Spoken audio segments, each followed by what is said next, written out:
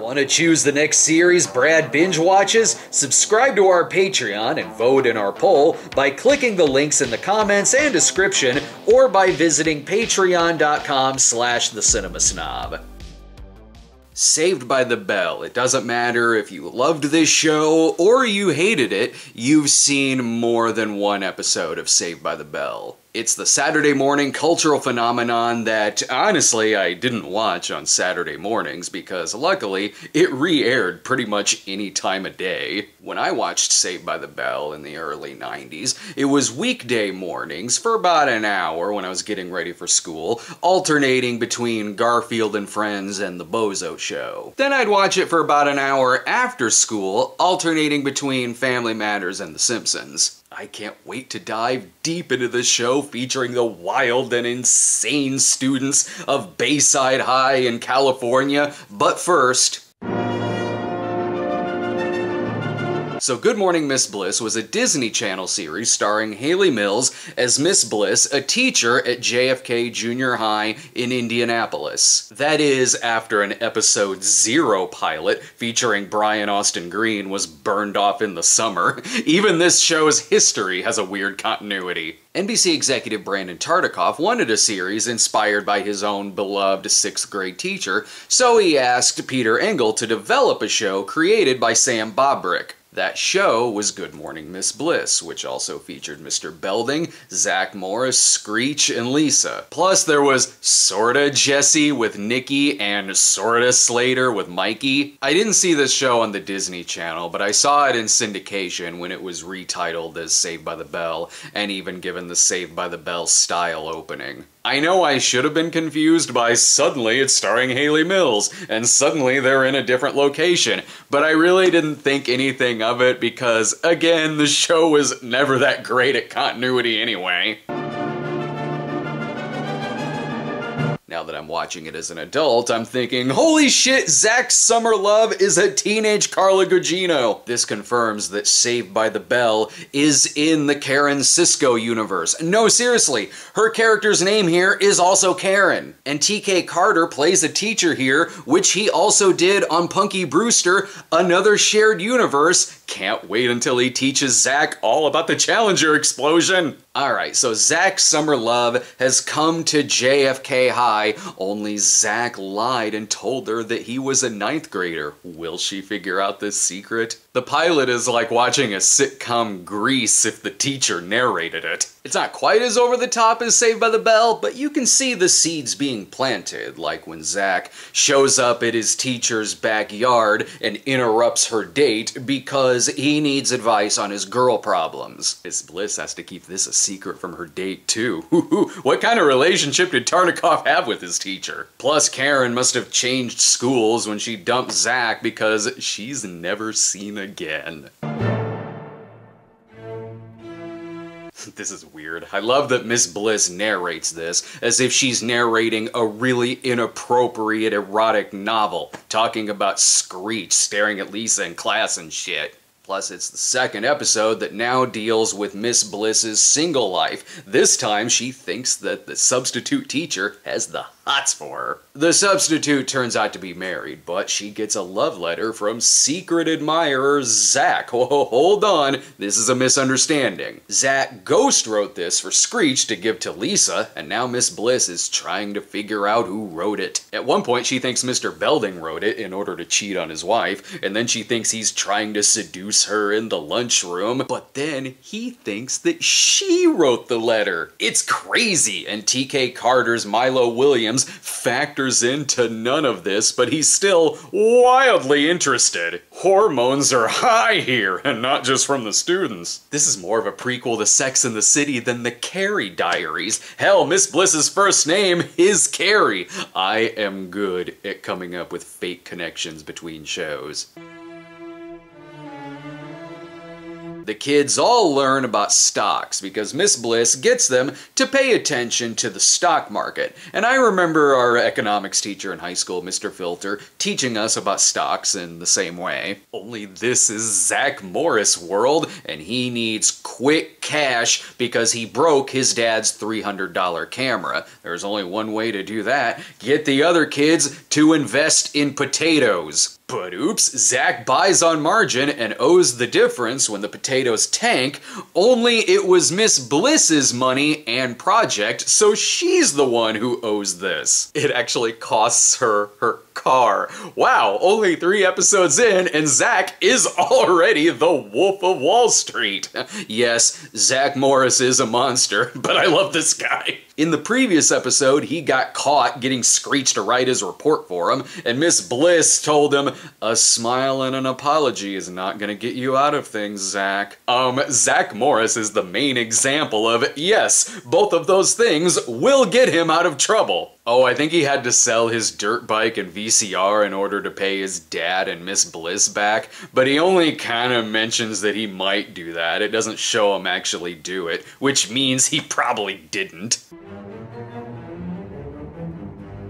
You know, I do kind of remember one weird thing about this in syndication. A high school Zack would intro these episodes by saying, here's my junior high adventures, but then Miss Bliss would be the one narrating them. Who's telling this story? This one's the science class episode where Mr. Morton wants to dissect frogs, only Nikki is against this, so she takes the frogs and sets them free. I feel like every sitcom that takes place in a school has this plot. Only here I kind of understand her objections. When I was in school, yeah, we dissected frogs, but they were already dead and frozen. Serial killer Mr. Morton comes in with a box of live frogs that has live animals written on it. No shit, they want to save the frogs. Every teacher here is bad in some way, shape, or form. In Miss Bliss's class, they're all taking a test, but she has to leave. She tells the kids to abide by the honor system and then puts Zack in charge. Why? And why is she giving Mr. Belding shit for only giving Nikki a warning? I'm sorry, didn't you have to sell your car last week because of Zack?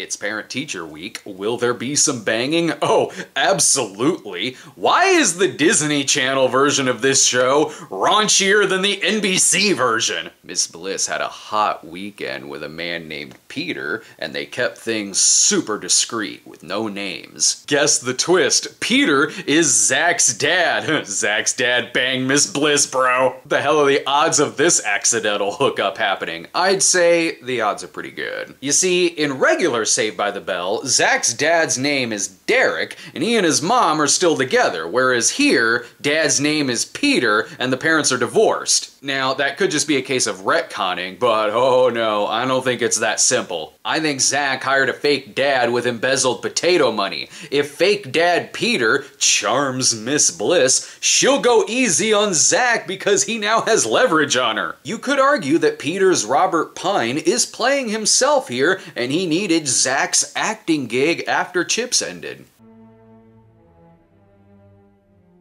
You can tell the Saved by the Bell credits were not intended for Good Morning Miss Bliss because every time it cuts to them after the intro, it feels so awkward and like the scene didn't even finish. Anyway, bully episodes aren't specific to just school sitcoms. Every sitcom has a bully episode, and here is Saved by the Bell's first. Andras Jones plays new kid Deke. He wears a leather jacket and breaks pencils. He was also in Elm Street 4. Makes sense after Freddy got a mention in the previous episode, and if you missed that mention, Freddy is mentioned in this one too. Miss Bliss discovers that he's illiterate, which explains why he's in junior high and clearly 21 years old. At least Milo and Miss Bliss's best friend, Miss Paladrino, sort of have a brief subplot this time that doesn't involve them just simply showing up and saying, Oh, Miss Bliss, those students done gone crazy. I guess Deke got transferred to yet another school because he is never seen in another episode again, but at least he found out he's illiterate. And he left right before Mr. Belding brought back the 8th grade dance. You see, total babe Shanna asks Zack to the dance, only Mikey is the one who wanted to ask her to the dance. He even helped her with her homework. This causes anger and jealousy between Zack and Mikey. I feel like I'm watching a round of auditions for Zack Kelly and Slater and not the actual show. Plus, this is one time when Zack really didn't do anything wrong. He didn't know Mikey's feelings when he said yes to Shanna. Plus, Mikey's kinda creepy. He tells Zack, You take Shanna to the dance and you're a dead man. He even almost punches Zack at the dance while the teachers are standing there like, Let's not get involved. In this case, I'm rooting for Mikey to have a teary eyed Last American Virgin style ending. Look, this dance shouldn't be happening anyway. Shanna tells Zack she's gonna be wearing a tight leather miniskirt and that they're gonna have a alone time together. what the hell? And Lisa shows up with 10 dates. No wonder JFK High was shut down and became Bayside High. It attracts 21 year old predators like Deke. We're back to Zack being evil. yes. Zack doesn't want to take the midterm, so clearly the next step is to set Screech's rats loose through the building. Remember, it can't simply be that. It also has to somehow screw over Miss Bliss. Miss Bliss was in the running for a Teacher of the Year award, but the rat incident has caused the school to be shut down for a week and they can't reschedule her interview. While some of the tone in Good Morning Miss Bliss may be a little different than Saved by the Bell, Zack Morris is more or less the same. He does some worse things on Saved by the Bell, but here it doesn't feel like he's a different character. He just seems like what Saved by the Bell Zack would have been like in junior high. You see the seeds being planted for his Bart Simpson with the brain of Patrick Bateman persona. And I'm not sure if Miss Bliss should get this award anyway. She has a game with the students where the prize is a shirt that says, I met the Miss Bliss challenge. Phrasing. Well, Tina Paladrino gets a little more plot this time, other than arguing with Milo about stage space a few episodes ago. Milo still has yet to have a major plot line, but he sure was mad about those rats! Tina briefly lives with Miss Bliss when she and her boyfriend break up. That way the show can turn into Laverne and Shirley for an episode. This is one episode where it really does not feel like I'm talking about Saved by the Bell. Imagine if this were the first episode you saw in syndication. That had to be confusing. I picture my dad going, Who are these teachers? Is this the show the kids are into? Why do the opening credits show Bayside High, but this is in Indianapolis?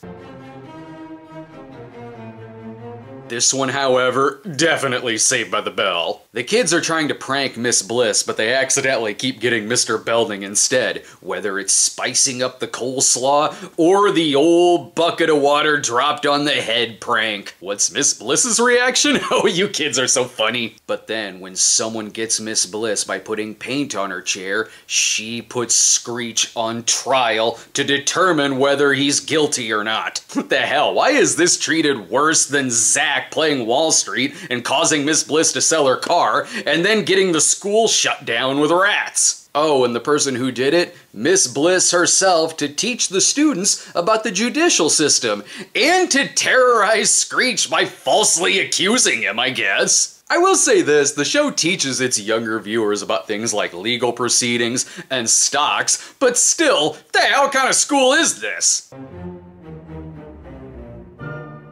Oh, this one teaches a lesson too. If you make a bet with your friend that you can kiss a pop star who is giving her final appearance in the school, and just pretend like you're dying. That's what Zack does, so what's the lesson here? Mr. Belding actually believes Zack is dying. At this point, if you're still falling for Zack Morris schemes, you get what's coming to you. That's the lesson, and we're only 11 episodes in. Even when Zack finds out that Mr. Belding really does think he's dying, Zack's reaction is, that's pretty funny. wow! The pop star's stage name, by the way, is Stevie, and she was a former student at the school named Colleen Morton. The same last name as the creepy science teacher? Sure, she never mentions a relation, but given that she pretends to be someone else in front of Zack and seems turned on by him having the hots for Stevie, then even kisses him, she's kinda creepy too, like her dad. Oh, sorry, possible dad. There go my theories again.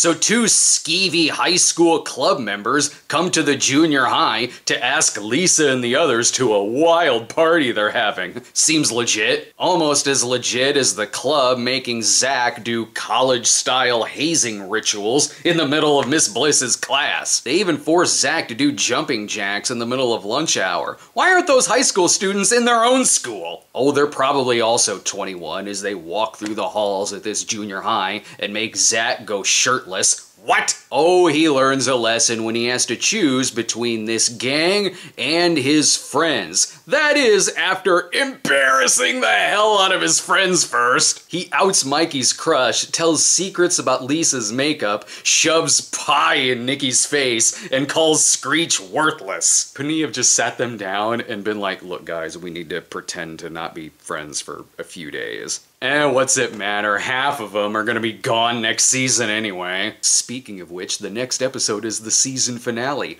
Will they give Miss Bliss, Milo, Nikki, and Mikey a proper exit? What a send off! Miss Bliss's mentor dresses as Abraham Lincoln to give the Gettysburg Address, Nikki throws out a first pitch, Mikey does nothing, and Milo guards a water fountain. You see, folks, I have a much better finale in my head. In the Peter Morris episode, Miss Bliss told them, When your son graduates here, call me. So clearly, Miss Bliss and Robert Pine ran off together. As for Nikki, Mikey, and Milo, eh, they died. You know, I can see why they changed things up for the next season. This was only a 13 episode season, but it felt long. Like one of those days when I'm having to binge watch a 26 episode season. It was like two wildly different shows competing with each other. One is about the single life of a 40 something homeroom teacher, and the other is after school special style shenanigans with the students. Good Morning Miss Bliss was cancelled, but Tartikoff still saw potential in the show and sent it back to the drawing board. So, which side of the show won? Teacher life or student life? Student life, of course. I remember when I asked out the tall girl in school and she grew three extra feet right in front of my eyes. So now Zack, Mr. Belding, Lisa, and Screech are in Bayside High School in California. How do you explain this since the show doesn't, um, transfer program maybe? Good Morning Miss Bliss was reworked as Saved by the Bell and moved to Saturday mornings on NBC, which proved Brandon Tartikoff right because the show became a runaway Saturday morning success. Instantly, the show works better. The kids all have better chemistry. Their personalities stand out a lot more with their screen presence, and Mario Lopez is a great foil to Zack Morris. Without teacher plots, they're free to be way more insane with their students, to the point to where they're all hanging out in a colorful diner called The Max, run by a magician named Max. This place looks like Colby the Christian computer is gonna roll in any minute. But on with our very serious look back as Saved by the Bell. Hey, look at my Mark Brendanawicz shirt to honor the fallen members of JFK Junior High. If you don't know what Mark Brendanawicz is, well, it's a Mark Brendanawicz thing you wouldn't understand. Well, not only are we forgetting Good Morning Miss Bliss, but we're already remaking episodes. Remember when Zack and Mikey were fighting over Shanna to go to the dance? Well, who cares if you forgot it? Because in this one, Zack and Slater are fighting over Kelly to go to a dance contest hosted by Casey Kasem. Already, Good Morning Miss Bliss is looking as gritty as Dangerous Minds. I love that Slater, Jessie, and Kelly get as much of an intro here as Miss Bliss and the others got a send off. What's the intro for these new characters? Oh, they get that later on in the season. Seriously. In this one, Zack needs help dancing, so he gets Jessie to teach him. one episode in, and I'm already set up for a Showgirls reference. Zack's gonna dance naked. Zack is also way more psychotic now that he's in high school. In junior high, the whole thing with him, Mikey, and Shanna just seemed like a misunderstanding. In this, oh, Kelly is is his property. And he talks to the camera now like a Saturday morning Ferris Bueller, only instead of wanting to help Cameron, it's as if he wanted him to drown in a pool. Oh shit, Lisa charged daddy's credit card $386 and has to work to get it back before he finds out? Oh, just buy potatoes like Zack did. That'd be way better than her becoming a waitress at the Max and her friends throw everyone's food away early just to keep the service going. Why is Max okay with this? Also, only $386? I would have figured it'd be way more. Hillary Banks has you beat. I just assumed Lisa spent 300 bucks a week. She's also terrified of her dad finding out. In a dream sequence, he turns into Satan and yells at her. What kind of home life does she have where this is a possibility? We'll never find out because this is the only appearance that Lisa's dad makes. That's alright. Between Peter and Derek Morris, Zack has an extra dad to spare. Speaking of Zack, when Lisa tells him that she needs his help, he rips off his shirt to reveal an undershirt that has a Z on it, causing him him to go, this is a job for Zack Man. How long was he waiting to do this? I've been wearing this for days waiting for a predicament to happen. Does Saved by the Bell really have a shark jumping moment? This is three episodes into the Bayside years, and Screech is struck by lightning, which makes him psychic, so Zack uses this to help him cheat on his midterms, where the teacher is the Micro Machine Man. A plotline like this establishes that anything is possible in this universe. And when Screech touches a TV, it shows the school from Good Morning Miss Bliss was was all of that just in an electrocuted Screech universe, like this show's version of the Westphall universe? And Bayside has the better romance, like the Slater-Zack romance. Zack keeps losing bets to Slater, so Slater tells him that they now have a master slave relationship, and he even gives Zack a slave list. Hoo hoo, they can go shopping for leather after Zack gets treatment for his gambling addiction addiction. Remember his bet with Nikki about whether he could kiss Stevie? Plus, when he tries getting Kelly to go to sleep so he can kiss her, he may be a date rapist too. It's been a few weeks, so clearly there needs to be another dance episode where Zack is fighting with Slater over Kelly. This time, however, it's the girls' choice dance, where the girls have to ask out their crushes, unlike those other dances where the ladies are demanded to be their dates. Obviously, there's only one way to know for sure who Kelly wants. Zack and Screech break into Jessie's bedroom to bug it so they can listen in on their secrets. Look, it's a hard week for Zack Zack, the girls get back at him by convincing him that Kelly is a serial killer. Seriously.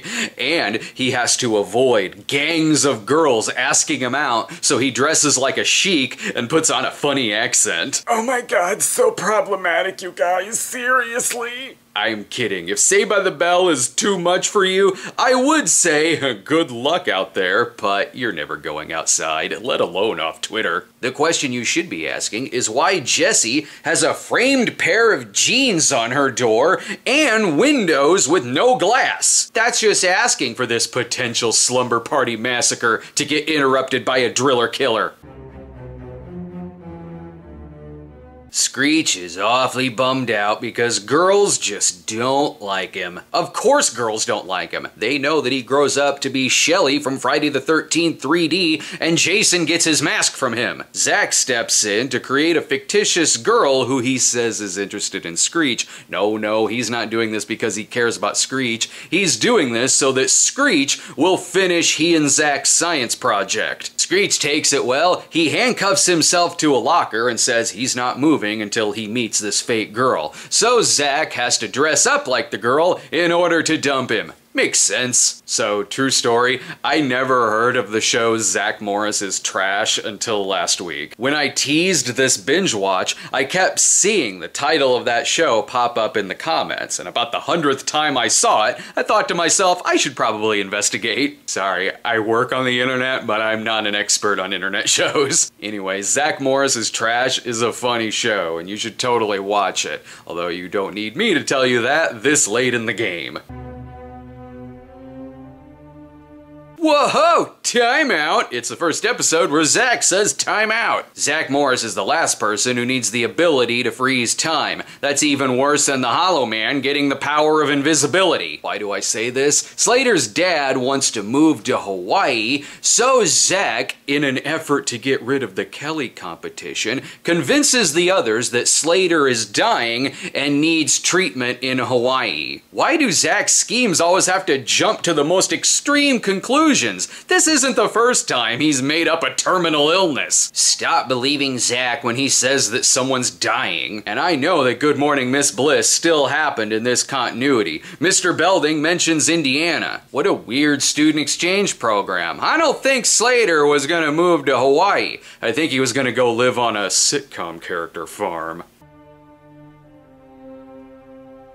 Don't ever say that the gang aren't secret buttercreamers. When the older drama teacher throws her back out, the gang helps her by wheeling her out on a skateboard because 1989. It's okay though, a hot new substitute named Mr. Crane takes over the class. It's sorta like the substitute story in Good Morning Miss Bliss, only here it's the students who go all Lisa Simpson and Mr. Bergstrom on the man. And how could they not? His teeth sparkle like the great Leslie. This makes the boys super jealous and they want to get rid of Mr. Crane. They hire Bess Meyer to pretend to be Mr. Crane's fiance. You might remember her as Chandler's movie director buddy from Friends, in an episode coincidentally titled The One Where Ross Dates a Student. You know, if Mr. Crane actually did make a move on the high school girls, I think your little problem of wanting to get rid of him would work itself out. Or maybe Slater says he's seen this problem before.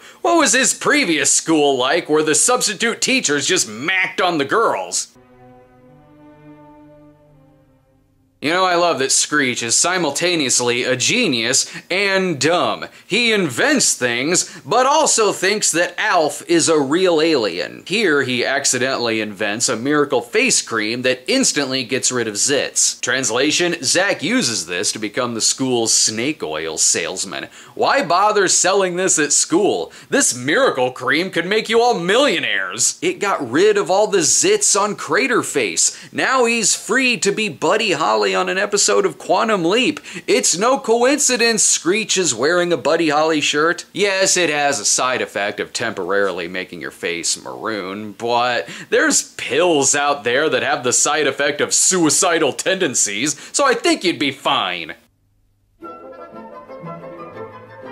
Okay, this is the third episode that has Zack making some kind of bet. He's lost all of the bets that I've seen him make so far. Again, this man clearly has some kind of gambling addiction. Here he bets that Slater will win his next wrestling match, only Slater gets depressed because it's career week and he's worried that he's gonna peak in high school, so he temporarily quits sports to take home ec class. Oh, he'll be fine. In the updated Saved by the Bell, he's the coach. Because as the lesson in this episode points out, just worry about your career later. And by the way, one of the things that Zack bets is his dirt bike. So either he got a new one after the whole potato incident, or he did not sell it to pay back Miss Bliss, just as I predicted.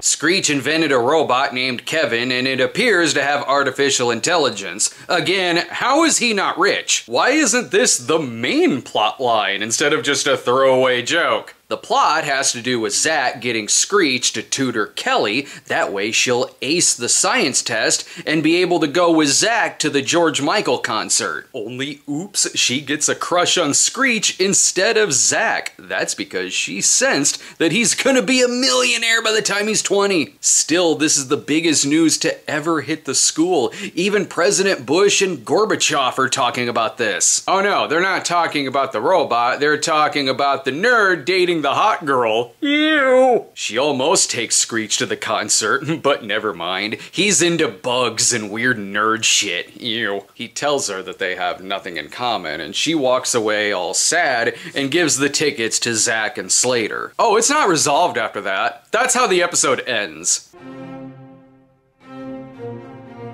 Ooh, another economics class episode. What's the worst that could happen? The students have to come up with inventions and are even given seed money, so Zack gets them all to start a friendship bracelet business. How is this gonna lead to potatoes and the teacher having to sell their car? Zack giving more money for another investment is like Bernie Madoff just having to start another business. It doesn't take long for the gang to argue and split up into two companies. Why do they even need seed money when Kelly, Slater, and Jessie can already produce a professional looking music video to sell their buddy bands? Don't worry, Zack's group has a plan too. Make Screech a gigolo whose time can be bought with bracelets. And when that doesn't work, destroy their business by giving Mr. Belding a buddy band to make the product now seem uncool. You know, all of this could be avoided if they just simply used Screech's robot as their invention.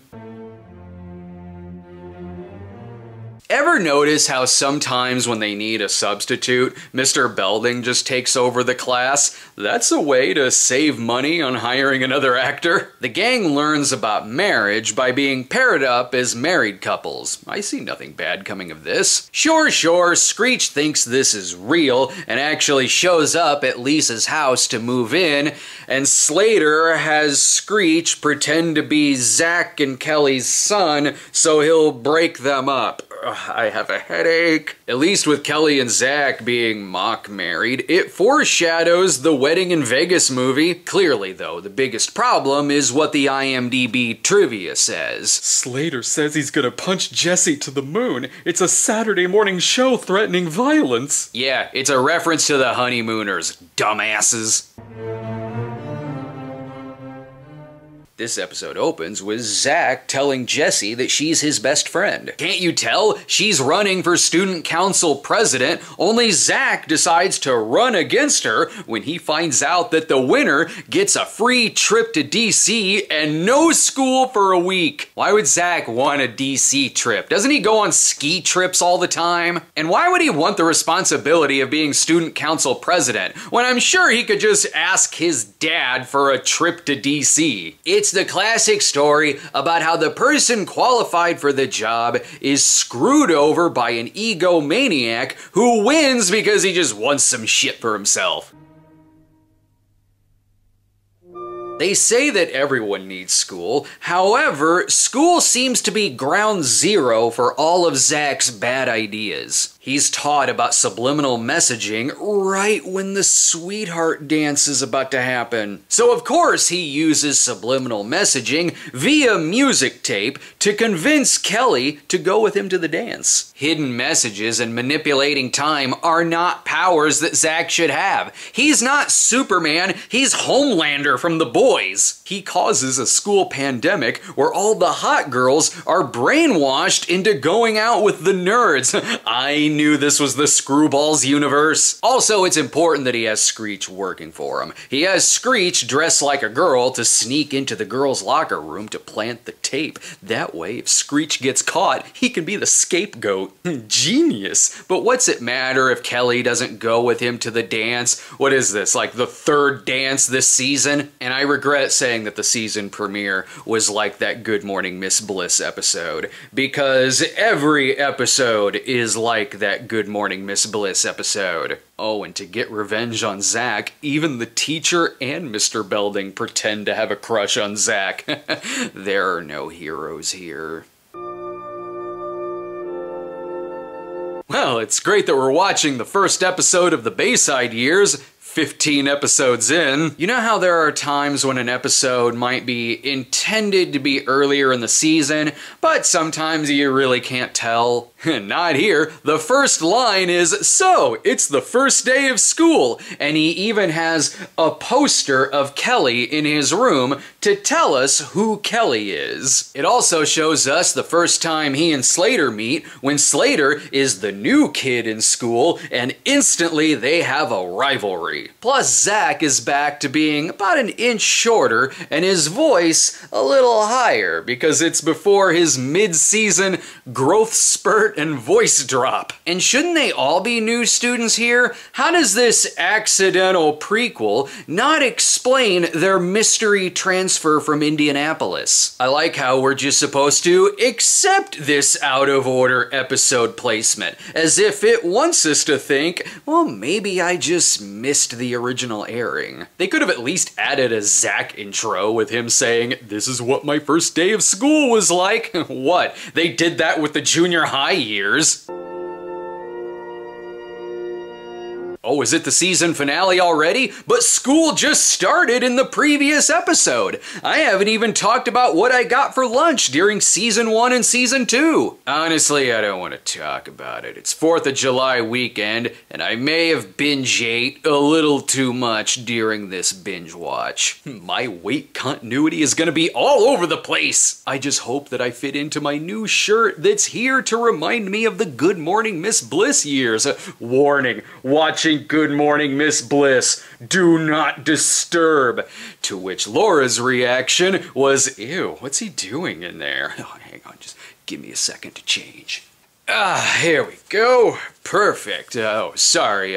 As for this episode, uh, there's a prank war between Bayside and the competing school Valley High. Careful, you're gonna get Screech put on trial again. Just kidding, but I'm sure there still will be a trial because the Valley students kidnap Screech under the authorization of the Valley principal because the schools are like mafia families.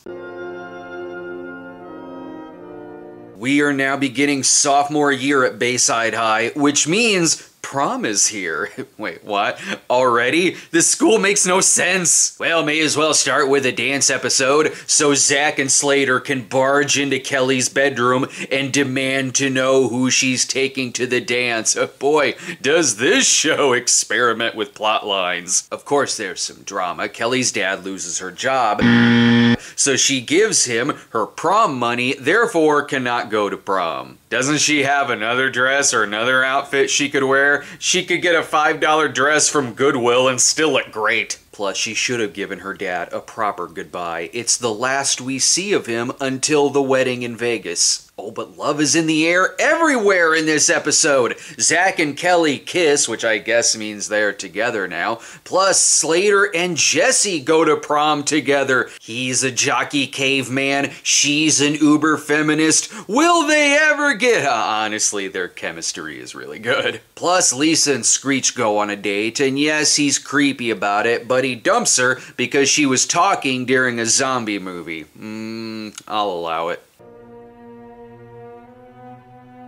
In the previous episode, Zack did a very nice thing by organizing he and Kelly's private prom together. That was his one good deed of the year. Never mind romance, we are back to Psycho Zack. Belding has had enough of Zack's wisecracking in class and wants to give him 30 detentions. wisecracking is the line? What the hell? Zack faked like two terminal illnesses. But to get out of detention, Zack agrees to join the school's Army Cadet program. Because, yeah, that's easier than detention. He even gets the others to join the school army, and it is much harder than they thought. Zack does not get along with the lieutenant. Plus, in the competition, they have to defeat Mr. Belding American Gladiator style. what? Why? There's casualties too. It's the last appearance of Alan the Nerd, so I guess he died on the front lines. This is like if Cher Horowitz wrote an officer and a gentleman.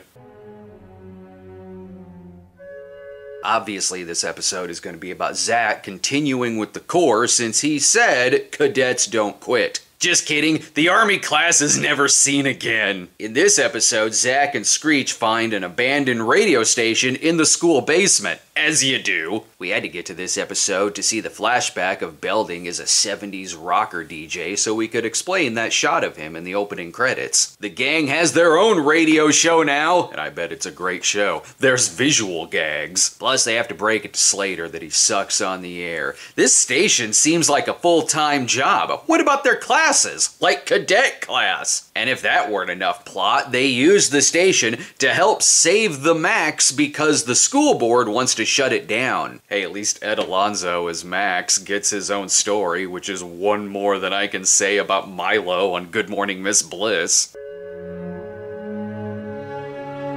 It's the Driver's Ed episode, and I would joke that they all look 20, except that most of them actually are age appropriate. We all just looked older back then. Personally, I think I looked older at 25 than I do now at 38. When did we grow up breathing? I guess Zack and Kelly are still dating. He gives her a ring so that when anyone says hi to her, he can say, hey, hey, see the ring? Also, Slater fixes up an old school classic automobile. I hope that this has opposite Arnie Cunningham effect and he turns into a nerd. Hey, if Zack could do that, he would. He tries sabotaging Slater here by telling Mr. Tuttle that Slater is cocky and wants to teach the class himself, so now the teacher hates him. Why do they keep believing Zack Morris? And why would Mr. Tuttle fail Slater at driver's ed just for thinking he's a dick? My driver's ed teacher, Mr. Marty Tadlow, was awesome. He was like having Joe Pesci as a teacher. He was vulgar as hell. We all loved him. He didn't care when we stole the practice go-kart and crashed it into a locker, causing Kelly to fake amnesia to teach Zack a lesson, largely because we didn't have a class go-kart. Everything else, though, totally happened. It's the first and only appearance of Ruth Buzzi as Screech's mom, and that casting makes total sense. Screech has the place to himself because obviously Mrs. Powers is off to a weekend orgy with all the other single appearance parents. And that's totally normal compared to the other relationship in this. Tori Spelling plays Violet, the nerdy girl who's really into Screech, only she's currently dating another nerd named Maxwell Nerdstrom. Guessing there's no jocks in that family. Nerdstrom calls Tori Spelling his squaw, screams at her for talking to someone else, and orders her to always stand next to him. But never mind that mass shooter. They have a party over at Screech's as an excuse to have a risky business reference and a plot where they accidentally break Mrs. Powers' Elvis statue as if it's a Fabergé egg with a scratch on it. And somehow Nerdstrom comes across as the biggest monster in an episode which features Zack betting Screech's dog in a poker match and losing. In this one, we find out that apparently Zack once sold the school to the Japanese. How the hell is there not an episode about that? and he gets a suspension for too many detentions and, you know, selling the school to the Japanese. It's okay, he gets out of suspension by agreeing to take out Belding's niece. What, was Ted Bundy unavailable? But oh no, the date with Belding's niece is the same day as Kelly's birthday party. If Zack shows up at the party with Belding's niece, Kelly will dump him. So instead, he makes Screech pretend to be him and go on the date with Belding's niece instead. Because that's way easier than just explaining the situation to Kelly. Even Jessie is having dating problems. In a dream sequence, she envisions being set up on a date with Teddy Kruger, Mason Voorhees, and, I'm not even kidding, Donald Chump. Oh, but reality is way worse. She goes to the party with Carla's son Anthony from Cheers, only gasp, he's way too short. Dude, you just gotta be like me and look taller on the internet. Ah, see, I knew it. My Peter Morris theory was accurate. Okay, okay, so this is the first appearance of Zack's dad, Derek Morris. Mr. Belding needs to see Mr. Morris because of Zack's grades, so Zack hires an actor to play his dad. Ah, see, he's done this kind of thing before. That explains Peter Morris. And he can't get Peter Morris again because clearly he and Miss Bliss are living a nice, happy life together. And who does he hire? Okay, okay, this episode is a lot to process. He hires a waiter at the Max named James, who is played by Mark Blankfield of TV's Fridays and Navin Johnson in The Jerk 2. Obviously, this means that the existence of The Jerk 2 was a giant scheme by Zack to sabotage the follow up program, The New Show. Zack Morris is a monster. What did Lorne Michaels ever do to him? Discussions of sexism come up when it's the annual Bayside High beauty pageant. I'm not exactly sure that's the biggest issue here, seeing how Jessie says, We have a woman on the Supreme Court, and yet Mr. Belding still wants us to parade around in swimsuits. Oh, and Belding hosts the competition too, and he's upset when Jessie comes out in an overcoat instead of a bathing suit. Um, I, uh, What? Is this whole beauty pageant just a police sting operation? That's enough to even forget Zack's gambling addiction, which is on display here too. He bets Slater that he can make Screech the Miss Bayside winner. Who cares about that? Kevin the Robot is in this episode. He doesn't just have AI, but he also drinks all of Zack's root beer. Screech could win this beauty pageant and a Nobel Prize. And yet he still thinks Alf is a real alien as he references again in this episode. No wonder everyone's ignoring Jessie's pageant protest. There's robots and gambling here. We have no time for Jessie inventing hashtags, which she enters the pageant anyway because, as she says, who wouldn't win against Screech? what a loser! Slater enters the contest too, which is a perfect opportunity for Zack to start spreading around a rumor that Slater beat the crap out of Screech. He's got to win that bet. And speaking of addiction, Eh, there's nothing to talk about with this episode, so best move on. Okay, okay, I'm kidding. This is the very special episode in which Jessie is addicted to caffeine pills, which I think at this point makes me the last person online to talk about this one. The show's producers originally wanted her to be on speed to address the pressures that some students face when becoming obsessed about getting into college, but the network thought that was way too hard of a drug for Saturday morning, plus Carlton from Fresh Prince already bogarted that stash. Apparently, they only changed the name of the pill in the script and not the effect that it has on her. So in this universe, caffeine pills are the same thing as speed. I love that this drama still has something to do with Zack. Jessie is behind on her grades, and also in keeping up with their all-girl group Hot Sunday, produced by Zack to make them music stars. I love very special episodes because in the same 20 minutes that has Jessie's I'm so excited freak out, we have a scene in which Screech dresses like a woman to secretly record the girls singing in the locker room. And all it takes is a drug addiction for Zack to be a good friend. when Jessie is crying in his arms, he has this look on his face like, whoa, whoa, where's the shenanigans? This is out of our wheelhouse. This is hard primetime drama here. Now, if only we could cure Zack's gambling addiction.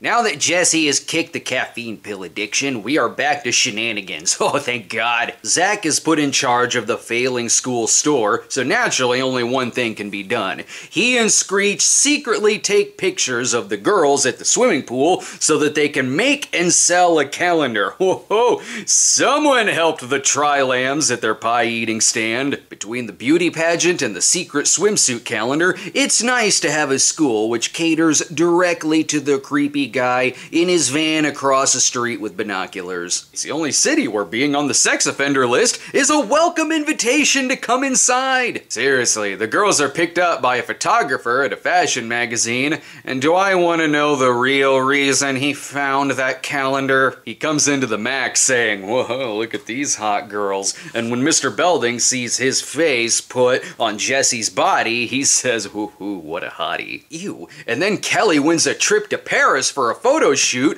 which Zack instantly wants to sabotage because if she goes to Paris for a month, she'll forget all about him. In fairness to Zack, though, it's probably best he sabotages this trip. This seems like the kind of trip that leads directly to Epstein Island. The previous episode ended happily with Kelly going off to Paris for a month to pursue her modeling, which means that's never mentioned again, and she's still in this episode, business as usual. Maybe the trip was called off due to Ghislaine Maxwell's arrest. Zack needs the girls here. He has a new scheme to start a school 1-900 number, which surprisingly isn't a phone sex line. It's a teen advice line, which leads to Kelly's 7th grade sister being in love with Zack, and then Jessie thinking that Zack is secretly seeing the girl. what? He even starts giving bad advice. That way people want to call in more and then rack up the price. Okay, forget that. I have other questions. Jessie is upset that Slater hasn't asked her out on a second date after prom. You know, Prom, the season premiere that was 10 episodes ago. Weird to be bringing that up now, months later, except this is obviously a case of the prom episode was supposed to air much later in the season and not the season premiere. Anyway, Zack doesn't go for 13 year old Nikki because he's in love with Kelly, which, okay, good, thank God. Speaking of out of order, Close Encounters of the Nerd Kind was originally supposed to be in season 1, but was held off until season 2. In case you couldn't tell by Zack and Screech's voices being a smidge higher, plus their hair is a little different, and Ed Alonzo is still in the opening credits. Why in the world would they hold this one off? okay, let's explain the plot. They break Belding's camera while filming a shot on Shittio movie about an alien Screech, Jessie dresses up like a Spanish foreign exchange student, and the government thinks that Screech is a real alien because they used a movie still shot to win a contest. Are you still with me? To win $10,000, they have to convince the world's dumbest government agent that Screech really is an alien, and then Screech hides out in Zack's bedroom to avoid dissection. You know, when I say it out loud, this sounds really stupid. I can't imagine why this was held off for another season. I realize this is quite the bar, but this may be the dumbest episode of Saved by the Bell. Okay, well, maybe Close Encounters of the Nerd Kind was the dumbest episode. The gang all learns about their ancestry. For instance, Lisa finds out her great grandfather was a slave, and Jessie's was a slave trader. Or as Screech puts it, Underground Railroad? Does this mean Lisa's grandfather ran a Civil War subway train? But the main plot is that Zack finds out that he's of Native American heritage, which he celebrates by putting Screech in war paint and making him act like a barbarian with a tomahawk in front of class. That's before he learns his lesson. After he learns his lesson, he dresses like Chief Alina Wick to give a presentation. It's a good thing Jessie discovered white guilt in her plot. She'd hate this episode. And that's before Slater calls Screech a twink. I think I already have enough to say about this episode. Oh, right. Zack's friend, Old Chief Henry, dies, which makes Zack too depressed to run track until the spirit of Chief Henry visits Zack in a vision. That makes no sense, since when does Zack run track? I think I spoke too soon earlier. This may be the dumbest. Uh, uh, no, Close Encounters of the Nerd Kind is still dumber.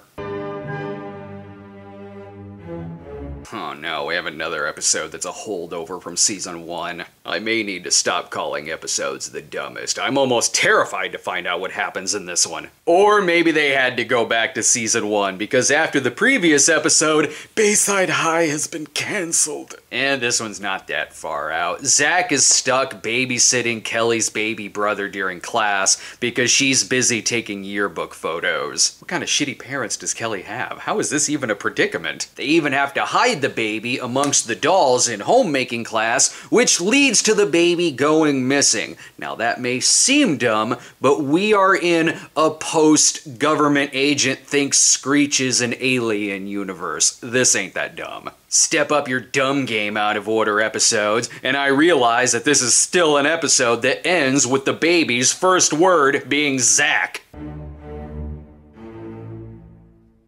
Now I know why they had to fill in some older episodes. They had to take their time off to paint the lockers from red to yellow. And their new hairstyles suggest that they are back from mid season break. Just a theory. Speaking of theories, okay, so the mean Mr. Dickerson orders them to all pass his impossible test or they aren't allowed to go on a class trip. When they're all studying, Dickerson appears to them in various illusions to taunt them.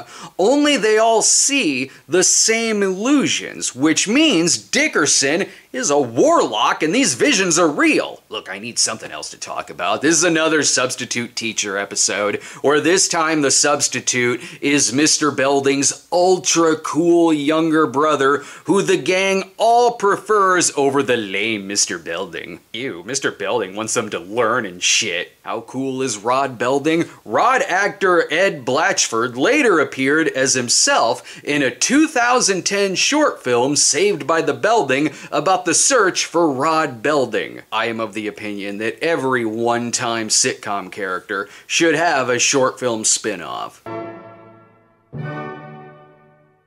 It was good of the previous episode to have a nice ending where Rod abandons the students on their trip to go off with the stewardess, and Zack and Mr. Belding have a good heart to heart about Mr. Belding being the better Belding. Anyway, in this episode, Zack wants to dump Kelly because he's in love with the school nurse. I'm assuming Kelly forgave him, since again, judging by the hairstyles, this one was filmed way earlier than most of the episodes this season. This whole plot is like something out of Skinemax. Zack fantasizes about the nurse, but even outside of the fantasies, her regular nurse uniform is like a costume she would get in the sexy department at a spirit Halloween. They even teach Zack a lesson by the nurse putting on an even sexier outfit to fake seduce Zack because she wants to cheat on her husband. She even corners him and says, Do you want a girl or a woman? Because we're in the Screwballs universe now. Sure, this is certainly a Zack Morris's trash episode,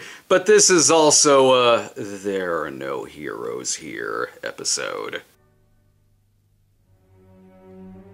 And now the lockers are orange? Why do they keep showing older episodes to repaint the lockers? Just pick a color. The placement is all weird. The previous episode ended with Kelly turning down Zack for being a bastard, but this one opens with them all lovey dovey and saying that they've been going steady for 60 days. Honestly, though, I'm way more into the Jessie Slater love story. He's the dumb, misogynistic jock, she's the humorless snob. They're the Sam and Diane of high school. It makes sense that they start going steady in this episode because their chemistry is really good. Like, really, really good. They have the best couples chemistry on the show. Zack and Kelly certainly seem like a sitcom couple, but Slater and Jessie have are they hooking up off camera chemistry? Zack is doing things like trying to control who she can hang out with and saying that if she talks to her ex boyfriend again, he'll dump her. But when Slater and Jessie fight, it's with maximum cheers, are you as turned on as I am energy. More than I can say about Belding and his wife, he's having marital problems, so he confides in the boys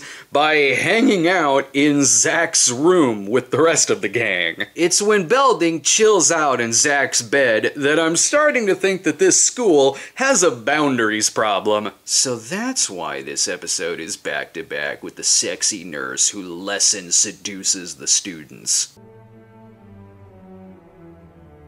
Oh right, Tori Spelling is back as Screech's girlfriend. I forgot that they did end up together the last time we saw them episodes ago, and she hasn't been mentioned since then. Oh, they're still together by the end of this one, so clearly she isn't seen again until episode 7 of season 3. This is another Zack really wants a vacation episode, so he gets them all to join the Glee Club, where the prize is a trip to Hawaii. Again, I think he could just ask his dad for a vacation. In the episode where he hired a fake dad, he was rewarded with a fishing trip. Plus, they all go to Hawaii in 1992. Oh, and this is the season finale, so bye, sophomore year, I guess. Whatever. There is a twist here, I suppose. Screech is immune to Zack's freezing time abilities, and I don't know why, I just assume it has something to do with the robot. Eh, I gotta get back to my McNuggets meal. I went to go get fast food,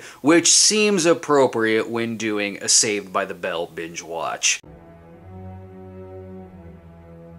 It's the beginning of junior year. Do you think there's gonna be a dance? Well, dance is in the title of the episode. Sorry if I seem grumpy. I got off easy with the previous seasons, being only 13 to 18 episodes long. This season is 26 episodes. I wonder how many of those were shot for previous seasons. Might as well, the plots are similar. Kelly needs money for the dance, so she gets a job waitressing at the Max, and then Lisa sues her for stealing one of her old plot lines. But uh-oh, Kelly gets a crush on the Max manager Jeff. Careful, it could be Max doing a magic trick to turn himself into Patrick Muldoon. So of course Zack is super jealous, but I think there's bigger issues here, like the adult manager crushing on his teen employees to the point to where they kiss. Saturday morning TV in the 90s. Kiss your adult boss, underage ladies, so long as he's hot. Hell, Zack and Kelly break up at the end of the episode, and he is super cool about it. Or is he? It does say to be continued. And it may be too soon to make Jessie the lead singer in Zack's band Zack Attack, considering the caffeine pill thing.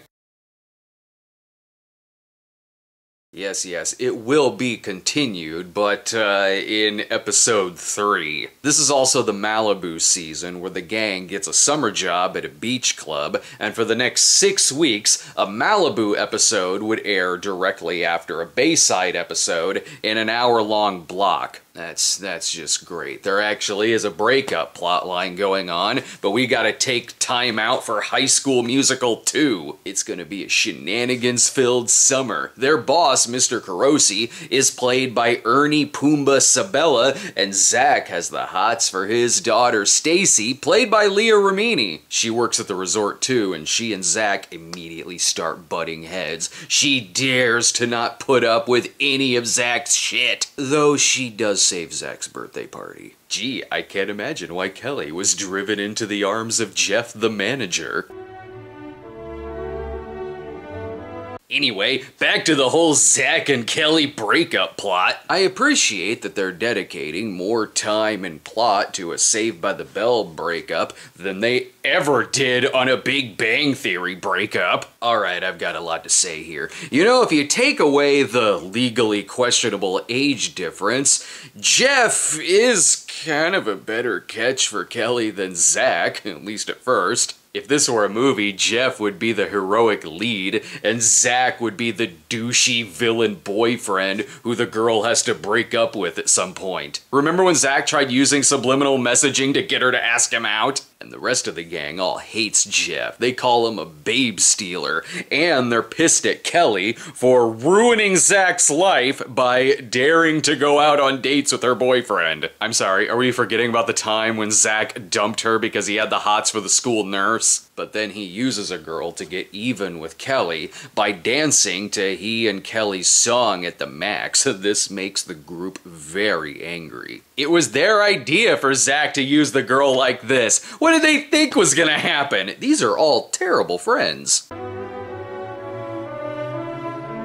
You know, I should be annoyed that for the next few episodes we're going to be cutting back to the Malibu episodes, but Leah Remini is really great here. She's an excellent foil for Zack, in like a Sam and Rebecca on Cheers kind of way. I don't know if that makes me care that Zack is blackmailing Mr. Carosi because Mr. Carosi makes a bet on their volleyball team winning, and Zack uses that to bring down the price of a car he wants to buy. That was a lot of plot. Where was I going with that? Oh, right. I may not care about all of that plot, but Leah Remini does make everything better. Though I am concerned that Screech tried getting a preschooler on their team by luring them with candy. Okay. By the way, Zack gets a 6 foot 10 ringer for the team by telling him that he can set the guy up on a date with Kelly. So Okay, when is this taking place? It can't be between sophomore and junior years because Zack and Kelly aren't together in Malibu, so I guess it's in the future between junior and senior years? Hey, why not? They jump back and forth in time in a regular season anyway.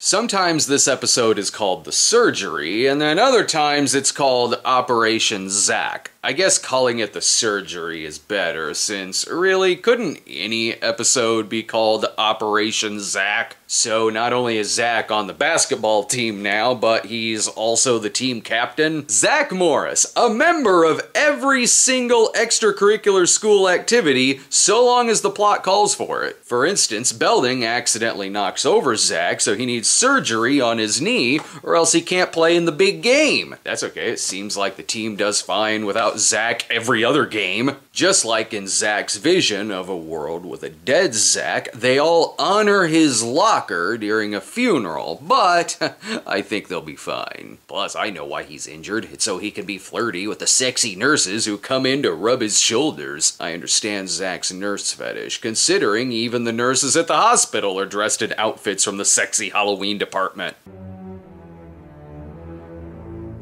Anyway, back to the summer job. It's 4th of July weekend and all the girls enter the Miss Liberty pageant. Between Bayside High and the Malibu Resort, what is with every organization in this universe having a beauty pageant? Zack's under a lot of pressure though. Mr. Carosi wants Judge Zack to make his daughter Stacy the winner of the pageant, but that will upset the rest of his friends who are also in the pageant. Between trying to rig a pageant and betting on the volleyball team, I'm not so sure Mr. Carosi should be employed at this resort. Plus, given Zack and Stacy's newfound romance, should he even be a judge? He ends up voting for Kelly in the pageant, and yeah, sure, that'll go over fine. Voting for your ex-girlfriend in a pageant that your current love interest is in. They almost don't go to the dance together, but then they make up and kiss, as if it would have mattered anyway. There's probably 12 dances left this season.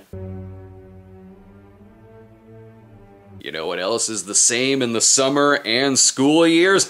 Betting. Screech goes off to the National Chess Championship against Valley, so of course Zack and Slater have to make a $300 bet about Screech winning. There's even kidnapping when Zack and Slater beat the shit out of Screech's opponent and keep him in the closet.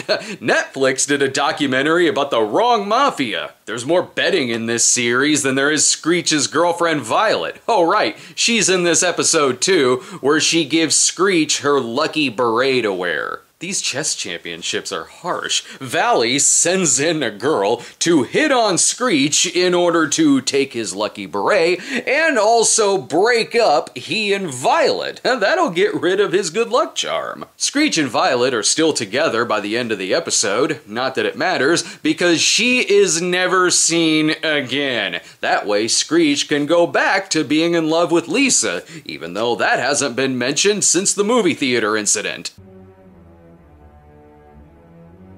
Back in Malibu, this is the one where they're all eating leftover buffalo wings while shipping out some DVD orders from our eBay store. Oh wait, that's just what I was doing while this episode was on. It's okay, I looked up long enough to see Screech being chased by super soakers. That was a nice nostalgic throwback. I had the big blue ones, not the popular neon ones that were in all of the commercials. Oh, and there's some drama too. Zack and Stacy are together, but then her boyfriend Craig comes back. What? She was seeing someone else? It's hard to get mad at someone when I can 100% see Zack doing it. Hell, her boyfriend Craig gives her a pin and says she's mine forever. The kind of villain Craig is, is kind of what Zack is in the whole Zack, Jeff, and Kelly triangle. I bet Zack and Stacy will still end up together. It's them that get married in Vegas later on, right?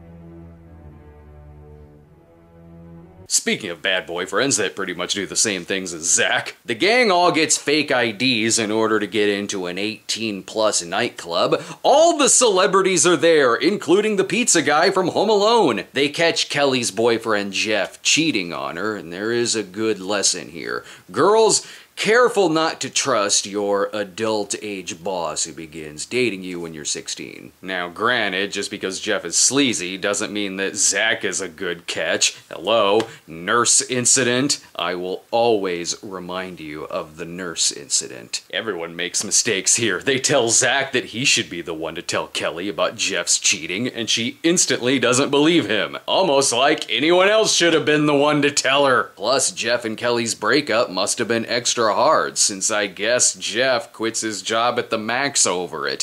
he is also never seen again.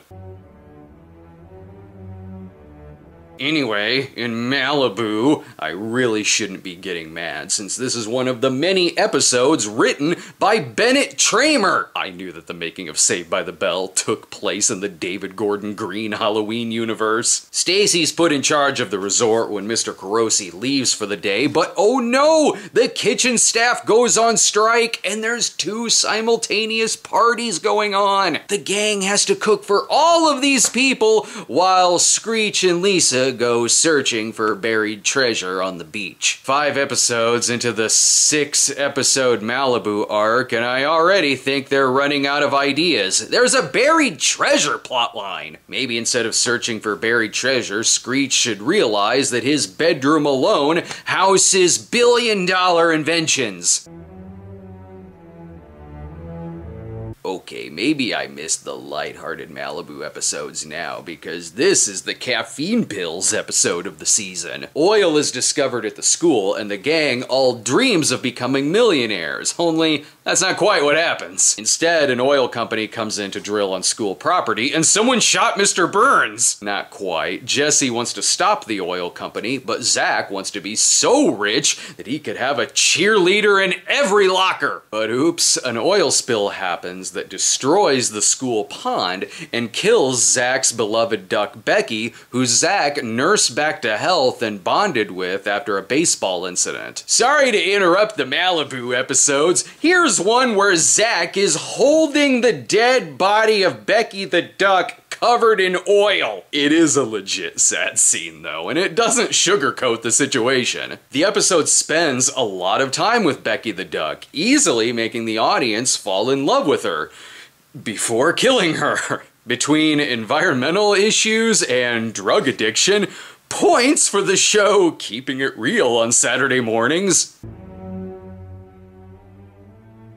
So long, Malibu episodes, but we still got plenty more Saved by the Bell to get through. Between the 13 Miss Bliss episodes, the 19 College Years episodes, and the 86 Bayside episodes, I think we're at the halfway point, give or take. Say hello if you're still watching! Since this is the last of the six episode Malibu arc, we have to say goodbye to Stacy and Mr. Carosi. Clearly, Stacy marries Doug Heffernan, and Mr. Carosi goes crazy and becomes the naked subway man on Seinfeld. Since this is just a summer love, though, Zack and Stacy have to say goodbye. That way, they can sing Summer Lovin' at wherever they're going next. Sure, sure, Stacy and Mr. Carosi are never seen again, but my question is, if this is taking place in the future, are Jessie and Slater still together here? He saves his secret admirer, Denise Richards, and they go to a luau together,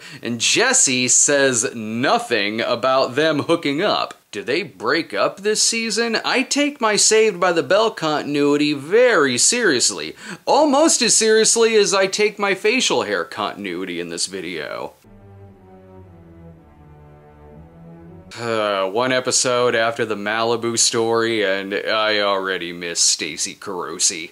She and Zack did have pretty good chemistry. She was no nonsense and didn't put up with any of Zack's shit. And when they said they loved each other, it felt genuine. Zack and Stacy make more sense to me than Zack and Kelly do. Sorry, I'm going to have to deal with this loss on my own time because the show is a psychological thriller now. Jessie's mom gets married and she has a new stepbrother, Eric, who is a walking, talking sex offender profile. He wants to share Jessie's bedroom, stalks the shit out of Lisa, wants to watch Jessie change her clothes, and gets into a car accident with Lisa in Belding's car. How is there all of this other stuff to talk about in an episode where Zack pretends to be Jewish so he can go to a baseball game? Hell, there's a part two!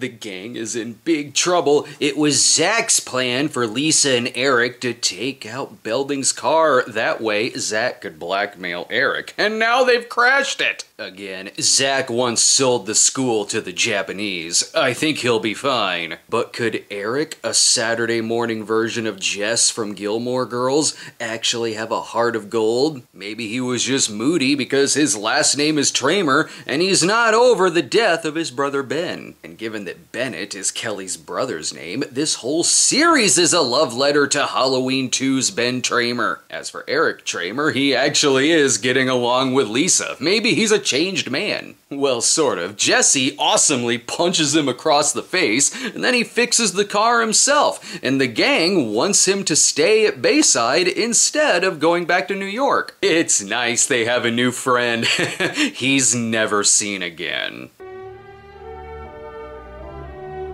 The school needs $600 for cheerleader uniforms, so clearly the only logical solution is date auction. You know, if they would finally legalize prostitution, the school wouldn't need to strike oil to be rich. That would have spared Zack the horror of an overweight girl winning him in the auction. Oh good, Zack is back to being the original Eric Tramer. Zack tries desperately hard to get out of this date. Ew, fat girl, so embarrassing! He even pretends to throw his back out so he doesn't have to dance with her. Dude, this is just a date auction. You're not an actual gigolo. You don't have to have sex together. Hell, this doesn't even mean you're both a couple. Everyone's like this. Jessie threatens the other girls not to bet on Slater. Oh, I listened to her. I remember that scene from Showgirls where she kicked the rapist's face in. Not for nothing, that was my favorite scene from Showgirls. She is really good at being intimidating. I'm surprised it took this long to have a whole episode that takes place in a mall. The gang finds $5,000 in a shopping bag. Obviously, they should hold on to this for the next time that they need money and have to resort to a date auction or fixing Belding's car. Sure, sure, there's gangsters after them, but this could be foreshadowing the wedding in Vegas, whose plot also includes the phrase, and then gangsters are after them. Look, I've got other things to worry about other than gangsters going after Bayside students. I've simultaneously been dealing with a copyright issue on the Passion of the Christ video from a company that really wants to take this to the bitter end. Thank God this is happening on a 26 episode day, and yes, I looked up at the screen long enough to notice that the whole gangster money bag thing was just a candid camera episode. Oh, they caught the gang doing so much illegal shit. Yes, Mark Blankfield's James is back and working at the Max. I guess they needed another employee after the strange disappearance of Jeff and Max. I honestly really like seeing Mark Blankfield pop up in things. The Jerk 2 was really bad, but everything else I see him in, he's great, especially in Robin Hood Men in Tights. Here, when they hire him to pretend to be a Harvard recruiter to make other recruiters jealous, he is really damn funny. Sorry, here I am talking about James when the gang is taking their SATs and Jessie does not do as well as she had hoped. Bet she wishes she had those caffeine pills now. Oh, they'll be fine. I didn't take my SATs and look at me. I'm talking about Saved by the Bell on YouTube. Do I even mention that Zack has the hots for Christine Taylor in this episode? And do I also need to mention that she's never seen again? Oh, are you missing the Malibu Beach episodes? Well, good for you because here's a two-part Palm Springs episode. It's been days since they've been on vacation. Er, well, maybe. Okay, so the Malibu episodes are taking place during their upcoming summer, but here, Slater is super into this girl that he meets at the hotel, But back at school, he and Jessie are still together. Are all of these vacation episodes in a separate timeline? I expect serious continuity details in a plot that has Slater in love with a girl who turns out to be the princess of a fictitious country. that happens. And Jessie has other stuff to worry about, like her dad marrying a much younger woman, and Jessie is pissed. She needs to lighten up. Her stepbrother is a missing person, and she could use a new stepmom. Or could she?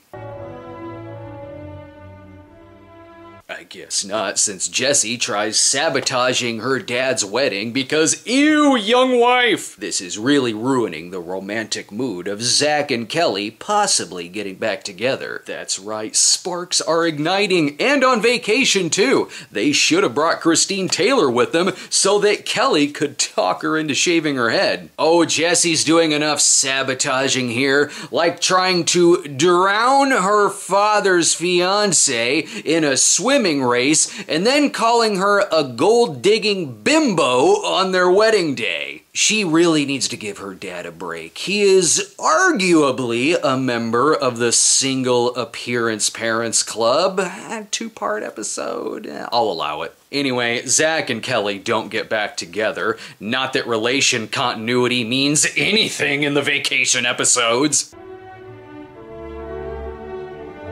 See, Jessie and Slater are still together in this episode, when Jessie is super jealous that Slater may be into a girl who is trying out for wrestling. Oh, but she wasn't jealous when Slater was literally dating a princess in the previous episode, despite, you know, the princess never being seen again. Speaking of never seen again, the students all stage a protest so that Christy, the new girl, can try out for wrestling. This is after the coach says, if you want to wrestle a girl, date him, and Mr. Belding uses his radio show to talk about girls wrestling. you know, that's still not as bad as Zack literally doing his show live in the girls' locker room. And that jealousy actually makes Jessie say that women do not belong in sports. if she were a real feminist, I think she'd be a little upset that Mr. Belding also goes into the girls' locker room after Zack. Oh, did I say that the oil episode was the caffeine pills episode of the season? Well, that one was the very special episode of the season, but this one does have drugs in it, though it's not every day that you see a Saturday morning series bring up the deaths of Len Bias and John Belushi, and also features NBC executive Brandon Tartikoff as himself. This really was a passion project for him. So a young movie star wants to do an anti-drug PSA at Bayside, but then it turns out that he himself is on drugs. I honestly do like the fact that they address that a lot of those young stars that did cheesy anti-drug ads were themselves on drugs. It's like a cheesy just say no special that's kind of self-aware while also being a cheesy just say no ad. It ends with the characters looking directly into the camera and saying, Would I use dope? Nope, there's no hope in dope. And then when they find out that the movie star Johnny Dakota is on drugs, they all walk out on him like he's a loser, and Zach even gives him his jacket back. yeah, that'll get him off drugs. Oh, what's this now? Zack dreams of his band, Zack Attack, becoming huge music stars, complete with a documentary hosted by Casey Kasem. I guess Jessie has no place in this dream since she's not in the episode due to breaking her knee before filming. Gina Gershon got revenge for being pushed down the stairs, didn't she? I like that it foreshadowed Dustin Diamond doing a tell-all since in the episode Screech gives a tell-all interview to a reporter. Unfortunately, the Zack attack falls apart due to infighting with the band, something that I feel would happen regardless of any kind of success. I'm surprised that even at school Zack didn't dress like Vanilla Ice and that Screech didn't worship the high wise sage geek, played by sequel George McFly. And that's the story about how Zack and friends became Dragon Sound from Miami Connection and sang about friendship. Now we're back to normal. It's cut day at school, but Zack can't cut because if he gets a 10th detention, well, that's a suspension. Plus, Belding has been taking some cues from Ed Rooney. If Zack skips, Belding will break into his house. And of course, there's money riding on this when Zack bets Slater that he can still cut school. You know, if the college years didn't exist, I would just assume that Zack would be in far too much debt to even go to college to begin with. Having to come up with a scheme to sneak out of every class and then coming back in time for the beginning of the next class seems like a far bigger headache than just staying in school for the day. 90% of the students are all gone, so the teachers all give them free days. This doesn't seem so bad. It's way worse outside of class. Jessie and Slater agree to start seeing other people. I know, I've seen the Malibu and Palm Springs episodes. Speaking of multi-part episodes, we got another two-parter, this one on Christmas break. My god, this season feels so long. I'm so tired. It's the holidays and the gang all starts working at the mall where things are so tense that some woman tries strangling Slater because he dropped her champagne glasses. Plus, Home Alone was really big at the time, so there has to be a homeless man, though it is still Saved by the Bell, so Zack has a crush on the homeless man's daughter. I could sum up my thoughts on the episode now, but there is 40 minutes worth of story here, I guess. Frank the homeless man passes out in the middle of the store and has to be rushed to the hospital where Zack, dressed as Santa, finds out that daughter Laura is also homeless. Okay, it can't be a coincidence that Hulu shows a Dawn soap ad that has someone washing oil off of a duck. Wrong episode, but correct season. I know I should be paying attention to Frank and Laura's story about being homeless, but I'm too busy looking at photos to see if Zack's living room is the same living room set used in the Matt Foley sketches on Saturday Night Live. They look very similar. It all ends well, though. The ending credits say Santa as himself, so I guess Santa Claus is real in this universe. Kelly saves Laura when she's accused of stealing, and they all spend Christmas together where they can stay with Zack until Frank can find himself another job. Given that neither Frank or Laura are ever seen again, I'm assuming that they either died or or are living off of royalties from inspiring Curly Sue. It's the season finale, and it is so late at night. This season felt so long, especially with the six episode Malibu arc and all the two parters that were thrown in there. It's the end of junior year, which means murder mystery. The gang wins a murder mystery weekend at a mansion where there may be a real killer. Wouldn't it be something if this were the series finale and it turned into a slasher film where Jessie is the only survivor? That's not any better than here, where Zack is accused of theft and murder and is thrown under the bus by all of his friends. They all say things like, Zack couldn't kill anyone, though he did steal Belding's car. Oh, there's not really a murder, by the way. It was all just part of the game, which involved framing Zack. Remember when this show was about the single life of a junior high school teacher? That's right, it's taken me so long to watch this that it's the Christmas season now. I don't think that this video will be quite as long as the five and a half hour Friends episode. Although it might, because here is another season that is also 26 episodes long. My god, it was such a long day watching the last season, and I have a feeling I'm gonna be very tired at the end of this season too. I never thought I would say this, but I am so sick of watching Saved by the Bell. well, it's senior year, but at least it's a season premiere that actually takes place on the first day back to school. When they did this in season one, they aired the episode towards the end of that season. But why am I upset? It's such a unique episode. Zack and Slater are fighting over a girl. it was somewhere around Slater showing up at Zack's house to interrupt Zack's study date by using a vacuum to suck up all of his notes that I thought, yeah, I'm Team Zack on this one. That makes his retaliation later on at the movie theater fair game. and it's worth it to see Zack and Slater get in a full-on fist fight in the hallway. I don't really know why they're fighting. Not only is Joanna, their love interest, never seen again, but neither is Derek, the freshman that Lisa is dating, and Belding's toupee isn't seen again either.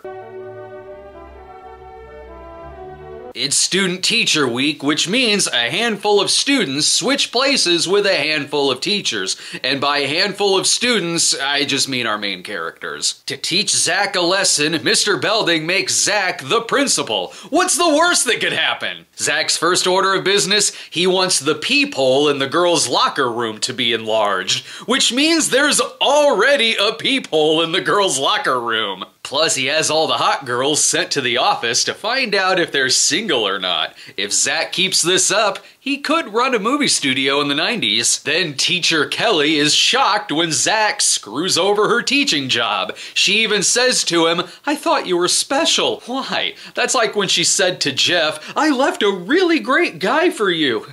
Did you?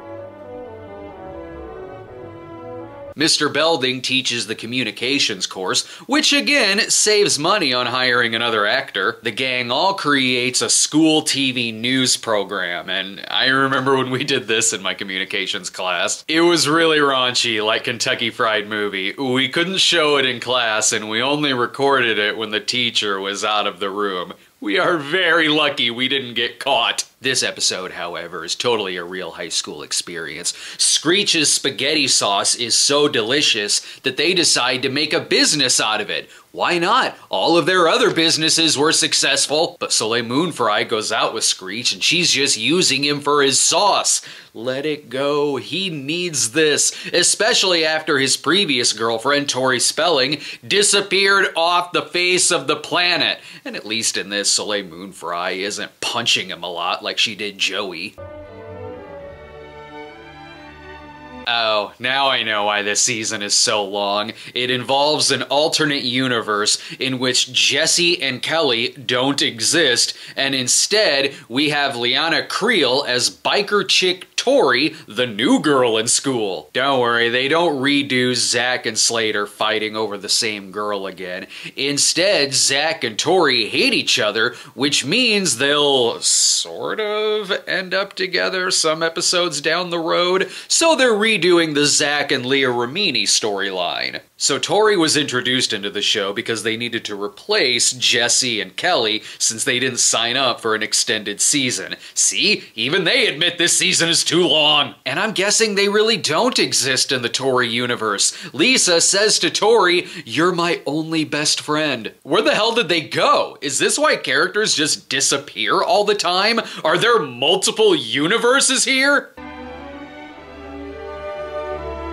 Speaking of the Leah Remini episodes, much like how those were aired, this season would air one episode in the Tori universe alongside an episode in the regular timeline. Cause, you know, you don't want to get confusing. You know, we've had too much Zack and Slater fighting over a girl over the years. Let's change that up a bit. Here, Zack gets really close with Lisa, which makes Screech super jealous. You know, thinking about it, Zack and Lisa kind of makes sense as a couple. They're both very shallow, materialistic, and ambitious. Too bad this whole romance isn't mentioned again until an episode of The New Class. They ruined the 200th fashion show of the series for no reason.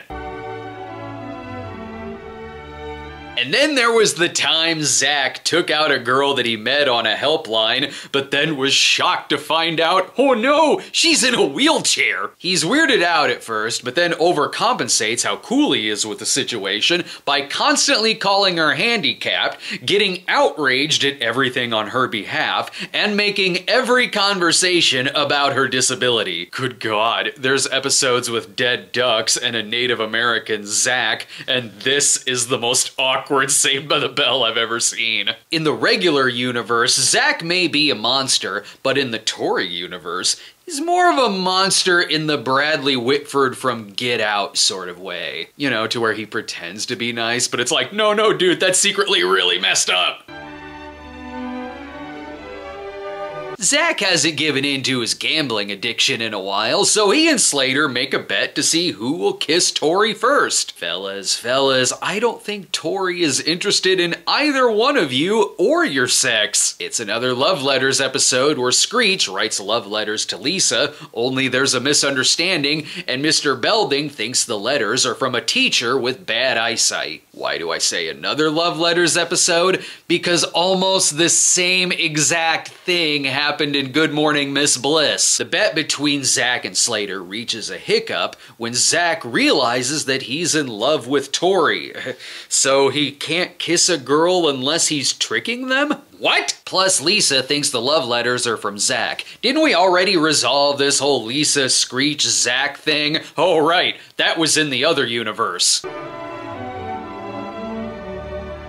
The gang wants to win a radio contest to win a free trip to Hawaii, so they rig the competition to make Zack the 10th caller, but he's got after school detention. How is he gonna make it to the max to win the prize? Um, just skip out on detention and take whatever the punishment for that is. It's a trip to Hawaii. It'll be worth it. Does it really matter if they win or lose this contest? A month after this aired, the TV movie Saved by the Bell Hawaiian style style aired. You know, where they all go visit Kelly's grandfather, Dean Jones. So they make it to Hawaii regardless. Er, wait, Maybe they don't. This is the Tori universe, so maybe their Hawaiian style is uh, vacationing at Devil's Island with Bob Crane.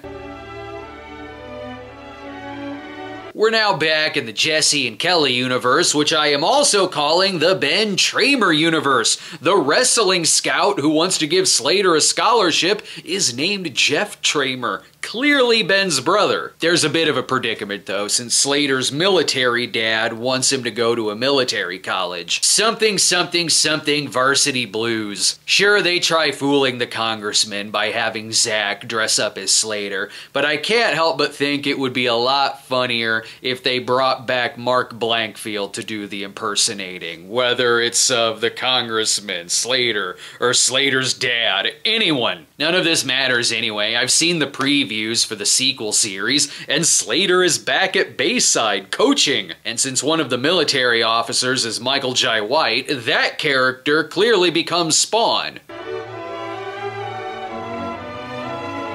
This episode is called Drinking and Driving. I wonder if it'll be a very special episode. It could be the gang is having an Animal House style toga party, so the message will obviously be if you're gonna drink and drive, just don't get caught. Now let's go sabotage the parade. You know, one of the most unrealistic things about this show is that someone like Zack or Slater, who have no problem peeping in on the girls' locker room, would draw the line drinking a beer. They even crashed Lisa's mom's car. This is the same group that crashed Belding's car when they were setting Lisa up with Jessie's evil stepbrother. This car scheme is kind of a step down. And when Zack's dad screams at him, he says, I'm shocked you would be this irresponsible. Really? How? The dude manipulated phone lines to win a radio contest. This is a really gullible universe. Couldn't most episodes be called Love Machine, whether it's in the Tori or Kelly universe? Hell, the episode barely has anything to do with Screech's new invention, the love machine. It's barely the B plot. Slater's girlfriend, Jennifer from Germany, becomes a new student at Bayside, and uh-oh, Slater didn't properly break up with her when he was in Germany. You know what other universe this is taking place in? The Season 3 universe, because that is clearly when this episode was filmed. Slater and Jessie are still dating in this episode, which is why he's trying to avoid avoid the girl from Germany. Maybe they thought we wouldn't notice, since whether it's season 3, or the Kelly universe, or the Tori universe, do you think Jennifer is ever mentioned again? Come on, have you learned nothing from me at this point? Speaking of aired out of order, not that this one is necessarily, but it's about time they acknowledged that several episodes ago, Zack and Tori said they were into each other. Here they're dating, but they weren't in the several episodes in between, which makes me think that this was supposed to air right after the Kiss Bet episode. Oh, and Screech can no longer get mad at Zack over the Lisa thing, since Screech falls for Tori here. What is this, love triangle season? Zack Slater Joanna, Zack Screech Lisa, Zack Screech Tori. This is why they need to pick a girlfriend and stick with them. For instance, how the hell does Nerdstrom have a comeback in this episode, but we still don't know where the remains of Tori Spelling's character are buried? And Zack should know he's getting scammed by a ring salesman. The salesman is Gaston. Well, here's one way to stretch out this long ass season at a clip show. It's Valentine's Day, so the gang is all reminiscing about their love lives and the schemes Zack used to do to try to get Kelly. Oh, you don't have to remind me of these past moments. I've been binge watching it forever now. I know this show more than a talking slap bracelet does. And why does there even need to be a clip show? This gives the false impression that these relationships have any kind of continuity continuity. But given that a lot of one-time love interests appear in these clips, at least it's acknowledging their existence while still not telling us where the bodies are buried. I wonder what's going on in the Tori universe. Maybe they're all reminiscing about Mikey and Nikki from Good Morning Miss Bliss. Someone has to. Uh, I'm halfway through this long ass season of Saved by the Bell. I had no idea until watching Saved by the Bell that there are a hundred hours in a day. There's no reminiscing to previous episodes in the Tori universe. Instead, an alumni leaves the students $10,000 in his will, but the boys want it for boy sports and the girls want it for girl sports, so the sexes all have to compete against each other. Why don't you just put the best choices for a vote? Or I don't know, let the school board handle it. No, no, it's much easier to sabotage the baking competition by burning the girls' cake. And now the girls won't go with them to the dance. I'm sure there's just as many dances in the Tori universe as there are in the Kelly universe.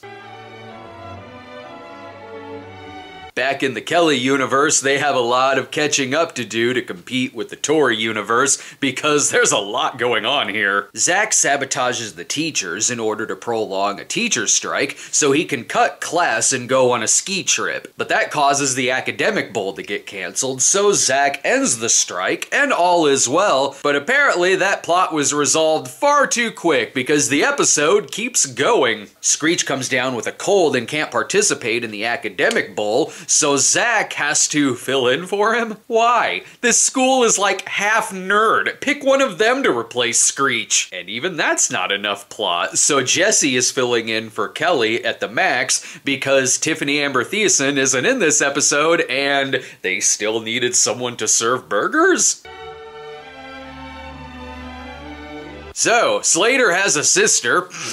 I know I should probably be more upset that Slater randomly has a sister who we've never seen before and is never seen again after this episode, but I'm more distracted by the doo-wop musical number they sing to Ginger waitressing at the Max and Mr. Belding dressed up like a bear. Oh, have I not mentioned Ginger? She's played by Bridget Wilson as a semi-regular in about four episodes of the Ginger universe. She just shows up now and then to say dumb blonde things and maybe date one of them. She's like Jake, Phoebe's boyfriend from a couple episodes of Friends, who didn't have an intro, nor did he have an outro. They just sort of exist for a few episodes. I'm also distracted by Zack dating Slater's sister here, because this is after he and Tori begin dating, so I guess this was filmed before that episode? Goddamn, is there any universe in this series that respects strict continuity.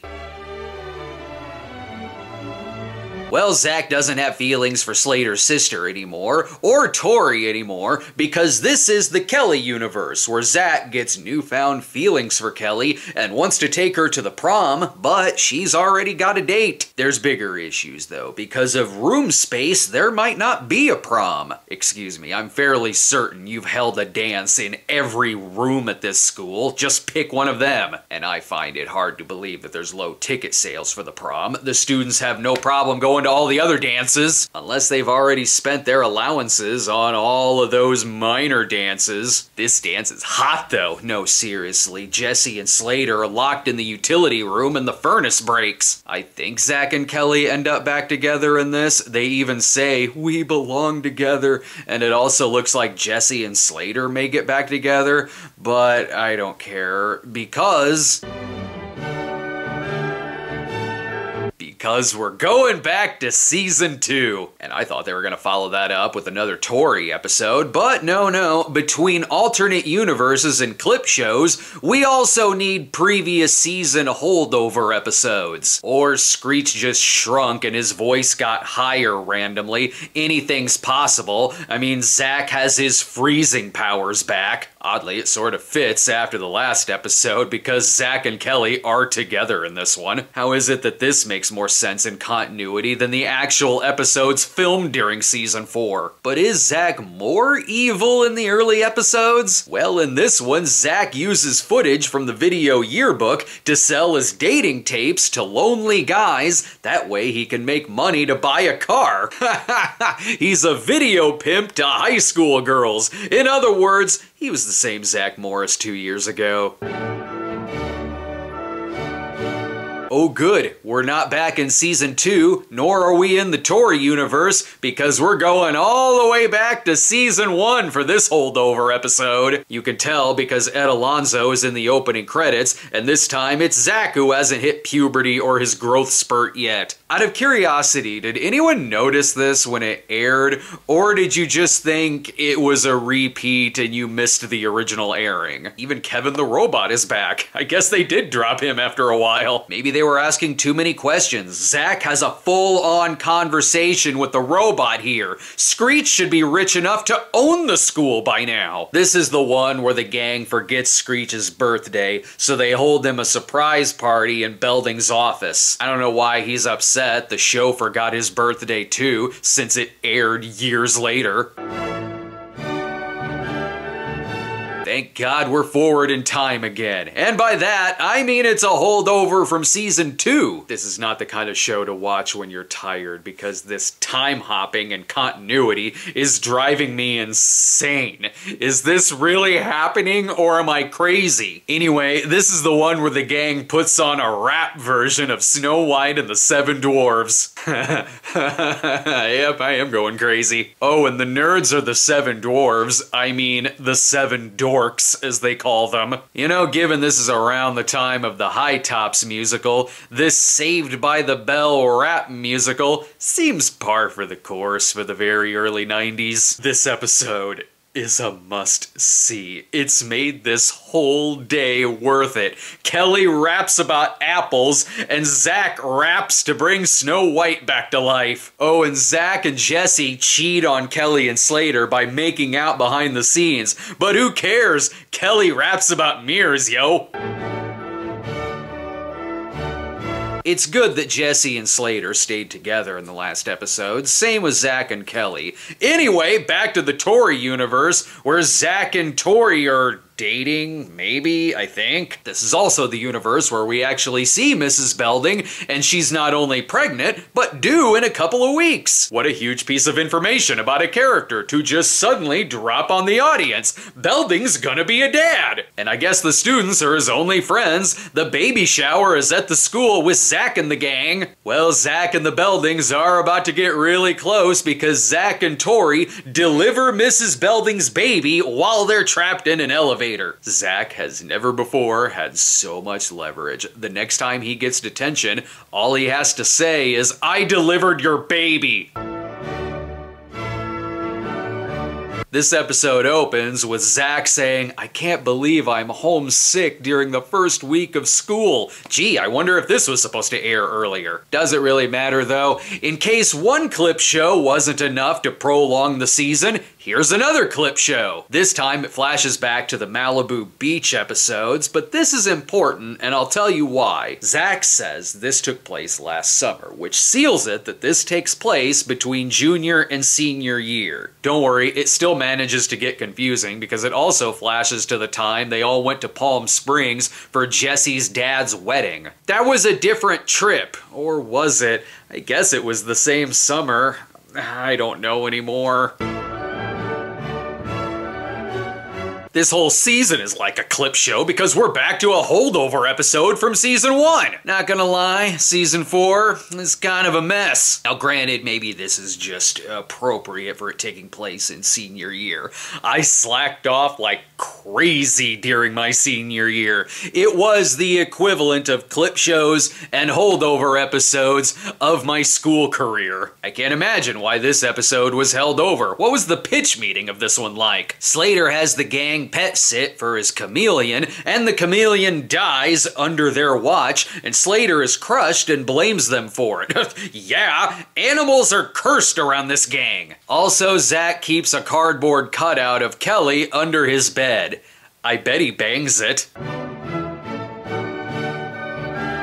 We are back in the Tori universe where the gang wants to create a school song for future classes to sing. Um, you already have a theme called Saved by the Bell. I've heard it about 80 times in the past few weeks. And since the school song does appear in the new class episodes, does that mean that Saved by the Bell, the new class, takes place in the Tori universe? Or at least some of the new class, maybe. That series was about as good at continuity with the cast as this one is with continuity of the episodes. And why the hell is Zack mad that he's gonna be remembered as a troublemaker? Not only is that what he is, but isn't that what he's always wanted to be? Rigging the competition to make himself seem nicer and to turn everyone else against each other doesn't help. Dude's in denial.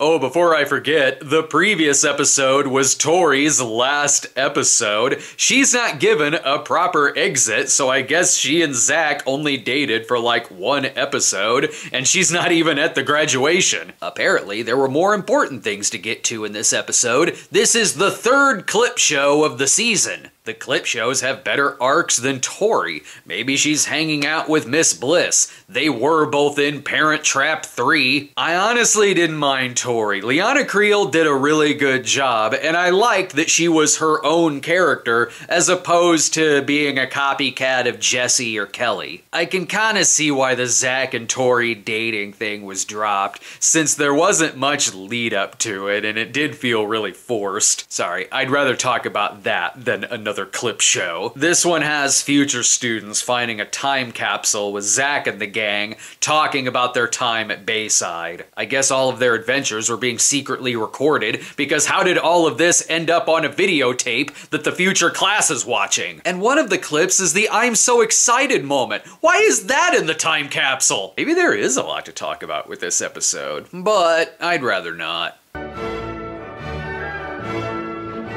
I know that this is the finale, but it's weird to even think of it as that. Yeah, sure, they're graduating, but does time even exist in this world? This season had alternate universes, clip shows, jumping back and forth between their ages, yeah, they're graduating, but it feels more like they're living in some kind of high school purgatory. And are the couples even still together? I thought the prom episode had them hooking back up, but I don't know. A lot of alternate timelines have happened since then. I feel like I'm a parent after their kids get their diploma and now the other students are doing their thing when I just want to go home. So Zack needs one more credit to graduate, so he does ballet, and then they all graduate. Well, except Tori. Maybe she graduated at semester, but I am still going with the alternate universe theory. Oddly, it's the one that makes the most sense. At least Zack gets to give a speech at graduation, though. Isn't that usually who speaks at graduations? The valedictorian and the guy who used the video yearbook as dating videos for the hot girls? Now that high school is over, they can rest up this summer because coming up next is the college years. Except for Lisa and Jessie. They come back for the wedding in Vegas.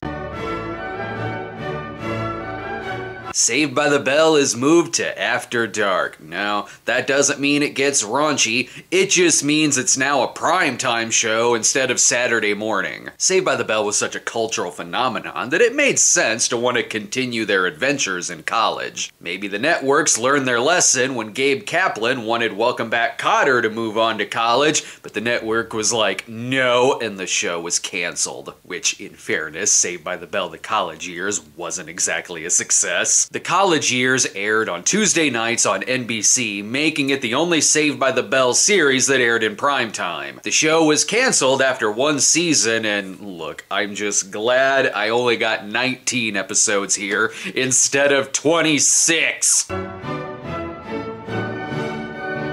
Do you make Saved by the Bell even more 90s? Well, the theme song, Standing on the Edge of Tomorrow, helps. What also helps is that the opening credits look like a Nickelodeon intro, but with the clothing style of silk stockings. What a difference a year makes. Zack is bulked up as hell.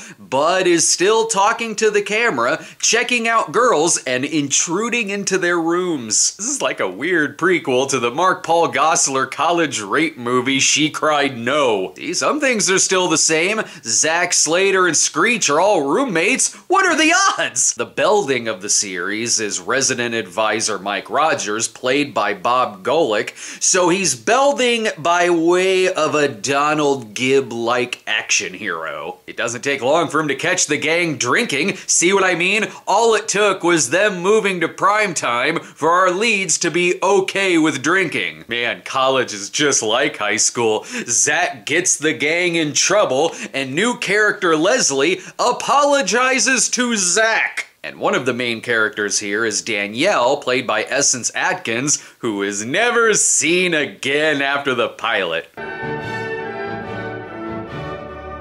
Well, in fairness to Danielle leaving, they do actually explain it when Screech says she transferred to a different school. See, was it so hard to explain a character's disappearance? She needed to go because now Kelly is back. She is also a dorm mate with Zack in a dorm room that is bigger than Monica and Rachel's apartment. This gets complicated because Zack is also interested in Leslie, and I don't think he should end up with either one of them. Before he knows knows Kelly is back, he tells Leslie that Kelly drowned at sea and he's finally able to start dating again. Zack is like Eric Otter Stratton if he belonged to the Omega House. Hell, he even copies Leslie's schedule so he can coincidentally be in the same classes as her. Didn't Zack and Kelly end up together at the end of the last season? Maybe? Sorta? I don't know. It's all so complicated. And do you really want to be dating a college boy version of Zack? Okay, maybe this one is raunchier. I can't imagine the Saturday morning version having a title that references sex, lies, and videotape. Another new character is added. This time it's Patrick Fabian as the dreamy Professor Lasky. He gives Zack an assignment to find out what women want, which of course leads to Zack secretly recording girls' conversations. Somehow Zack seems worse in this series. I know they did the secret recording thing before, but it's different when it's a hormonal high school student versus a bulked out adult college student. Again, I'm glad we have this series because it mentions Tori Spelling, the actress, which means Tori Spelling herself exists in this universe. Maybe she was secretly herself when she was dating Screech and she was simply just doing research for a movie role. Hey, at least that's some kind of explanation. But Zack learns his lesson that not all women think the same, which means he gets an automatic B and can skip out on the rest of class, which he does doesn't do because he wants an A. Just the fact that this creep was given the option to skip out on his classes makes this a worse college than the one from God's Not Dead. Okay, this is the one I actually remember seeing when it first aired. I don't know how much the other episodes I'll remember, but that damn Jonathan Wolf theme song is gonna be stuck in my head forever. The boys want to make it into a fraternity, but they're worried that Screech will embarrass them. Yeah, they've sort of done this plot before, but it's worse here because Zack can't even remember what Screech's first name is. It's when Leslie teaches Zack and Slater about friendship that I realize okay, Leslie is the Jessie of this series. It makes sense Jessie went to a much better college. They shouldn't even be worried about getting into a frat. Zack Morris looks like if a fraternity manifested itself into a person. Zack is still pursuing Leslie, which is weird considering I know how the series ends. He's trying to get her to go on a ski trip, and wasn't he broke in the pilot? Anyway, the main plot has to do with Slater embracing his Hispanic heritage after hitting it off with student Teresa. Yes, but wouldn't it be much funnier if it was about Zack finding out he's black? Hey, if you thought it was bad that Zack forgot Screech's name, here he's just now realizing Slater is Hispanic after for years thinking he was Italian. Slater gets a little too into this class when he begins thinking that everything is racist. okay, now it is starting to feel like a real college. Although it feels weird having an episode about a student protest and Jessie isn't here, it's a very serious episode about Slater's heritage, which is why the Hispanic Student Union is saved by a speech from Zack. Ooh, a homecoming episode, but a college version. I hope the next one has a love triangle in it. There's other familiar things about this plot. A celebrity football alumni comes back, Zack looks up to him, but it turns out he's a creep. I hope he doesn't also smoke pot. But at least their roommate Alex sort of gets an episode here in a B plot where randomly she's a love interest for Slater. She's starting out like she could be the Milo of the series, where she's just sort of there and incredibly one note. Her whole character is just that she wants to be an actress, so she overacts a lot. Here, she goes on a date with Slater and dresses up like the school mascot, and then gets mad at Slater because he's embarrassed. Um, I'm on Slater's side. If I was at a black tie event and my date showed up dressed like a giant falcon, I'd be embarrassed. Though I don't know if I'd be surprised Alex did this. Never mind Milo, Alex is the Kimmy Gibbler of the series. Damn, I was so close. It's not a love triangle episode, it's a Zack gambling addiction episode. Zack wants to have a poker night, but Mike forbids it in the dorms. Alright, I like the character Mike. He serves the same purpose as Belding, but with a more football player personality. And I'm usually on his side, but here, it's like he's just being a hard ass for the sake of a plot. The boys have to set him up on a date with Professor Nancy Stafford so that they can have a secret game of poker. But the date doesn't go well since it's her only episode. See, you should have just let them play poker. You killed another one-time love interest. Seriously, the episode ends with Mike and the professor almost burning down the dorm from having sex. Maybe she burnt to death. So with the show suffering in the ratings, maybe it isn't a good idea to have a Comedy Central light on the shelf. Why yes, I should be watching a different channel. But I guess that's more realistic than the girls' room with a big Sommersby poster on the wall. Sorry, I'm distracted. Back to the episode. Remember when Zack stayed in Professor Lasky's class because he wanted an A? Here, he pretends to be the professor because he finds out the professor has an admirer who's hot. As you can see, Zack really learned a lot from his What Women Want report. Okay, so that's the plot, but forget that. The important thing is, this is the David A.R. White episode. He's in one scene where he buys a candy bar from Mike, and he has the same hairstyle that John Glover had in Scrooged. That's my backstory for this character. He's Brice Cummings' son.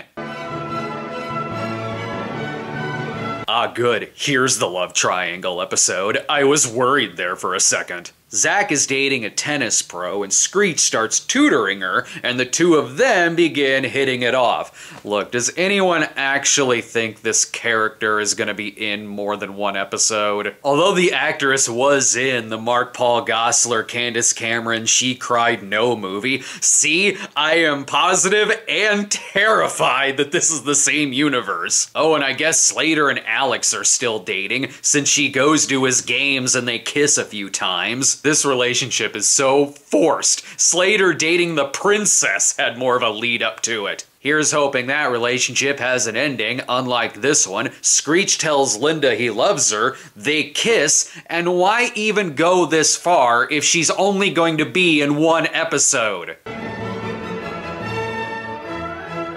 Oh, Kelly's a doctor now. She's an assistant at the Student Medical Center, where they're doing things that I think they'd be doing around season 3 of Scrubs. Good thing she has friends there to support her. When she says she wants to take pre-med, Zack's all like, mm, you don't seem the doctor type. Oh, I'm so glad these two get married. She wants to be a waitress instead. Leslie switches with her and she becomes a medical assistant. what? What kind of college is this? Even Slater's an ass here too. When Alex gets a job at a Hooters type restaurant, Slater gets all jealous. I miss Slater and Jessie being together. It's okay. Zack gets Kelly back into pre med when making a lot of money as a waitress makes her act like an 80s movie hooker. what kind of restaurant is this?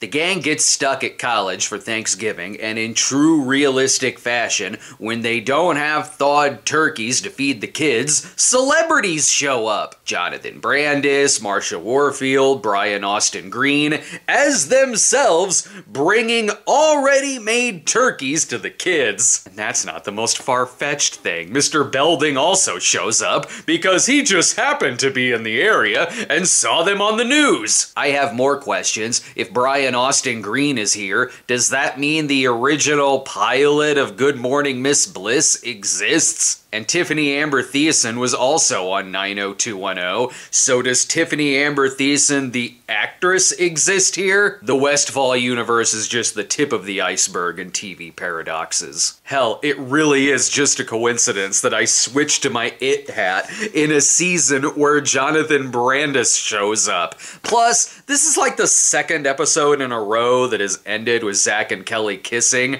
Are they back together or what?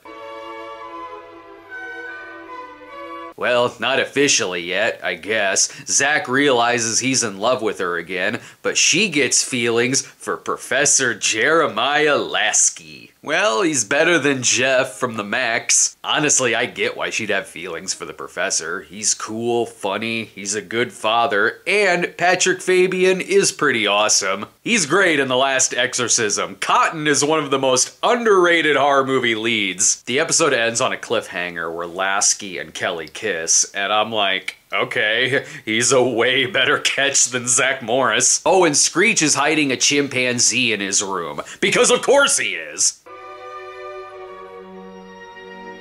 So Kelly and Lasky are dating, and I'm sorry, am I supposed to be rooting for Zack? Kelly and Lasky do have really good chemistry, and Zack spends the whole time scheming to break them up, including outing their relationship in front of the whole class. Now, sure, you can say, well, Lasky and Kelly's relationship does seem pretty unethical, but several episodes ago, Zack pretended to be Lasky in order to get laid by his biggest fan. Suddenly, Lasky and Kelly's relationship seems pretty normal in comparison. In this one, Zack goes goes to the costume ball dressed in the same costume as Lasky so he can trick Kelly into making out with him. And when Lasky breaks it off with her because of how understandably complicated it is, she pushes him off of a balcony and then apologizes to Zack, who is conveniently there to comfort her. Man, I don't like this relationship at all.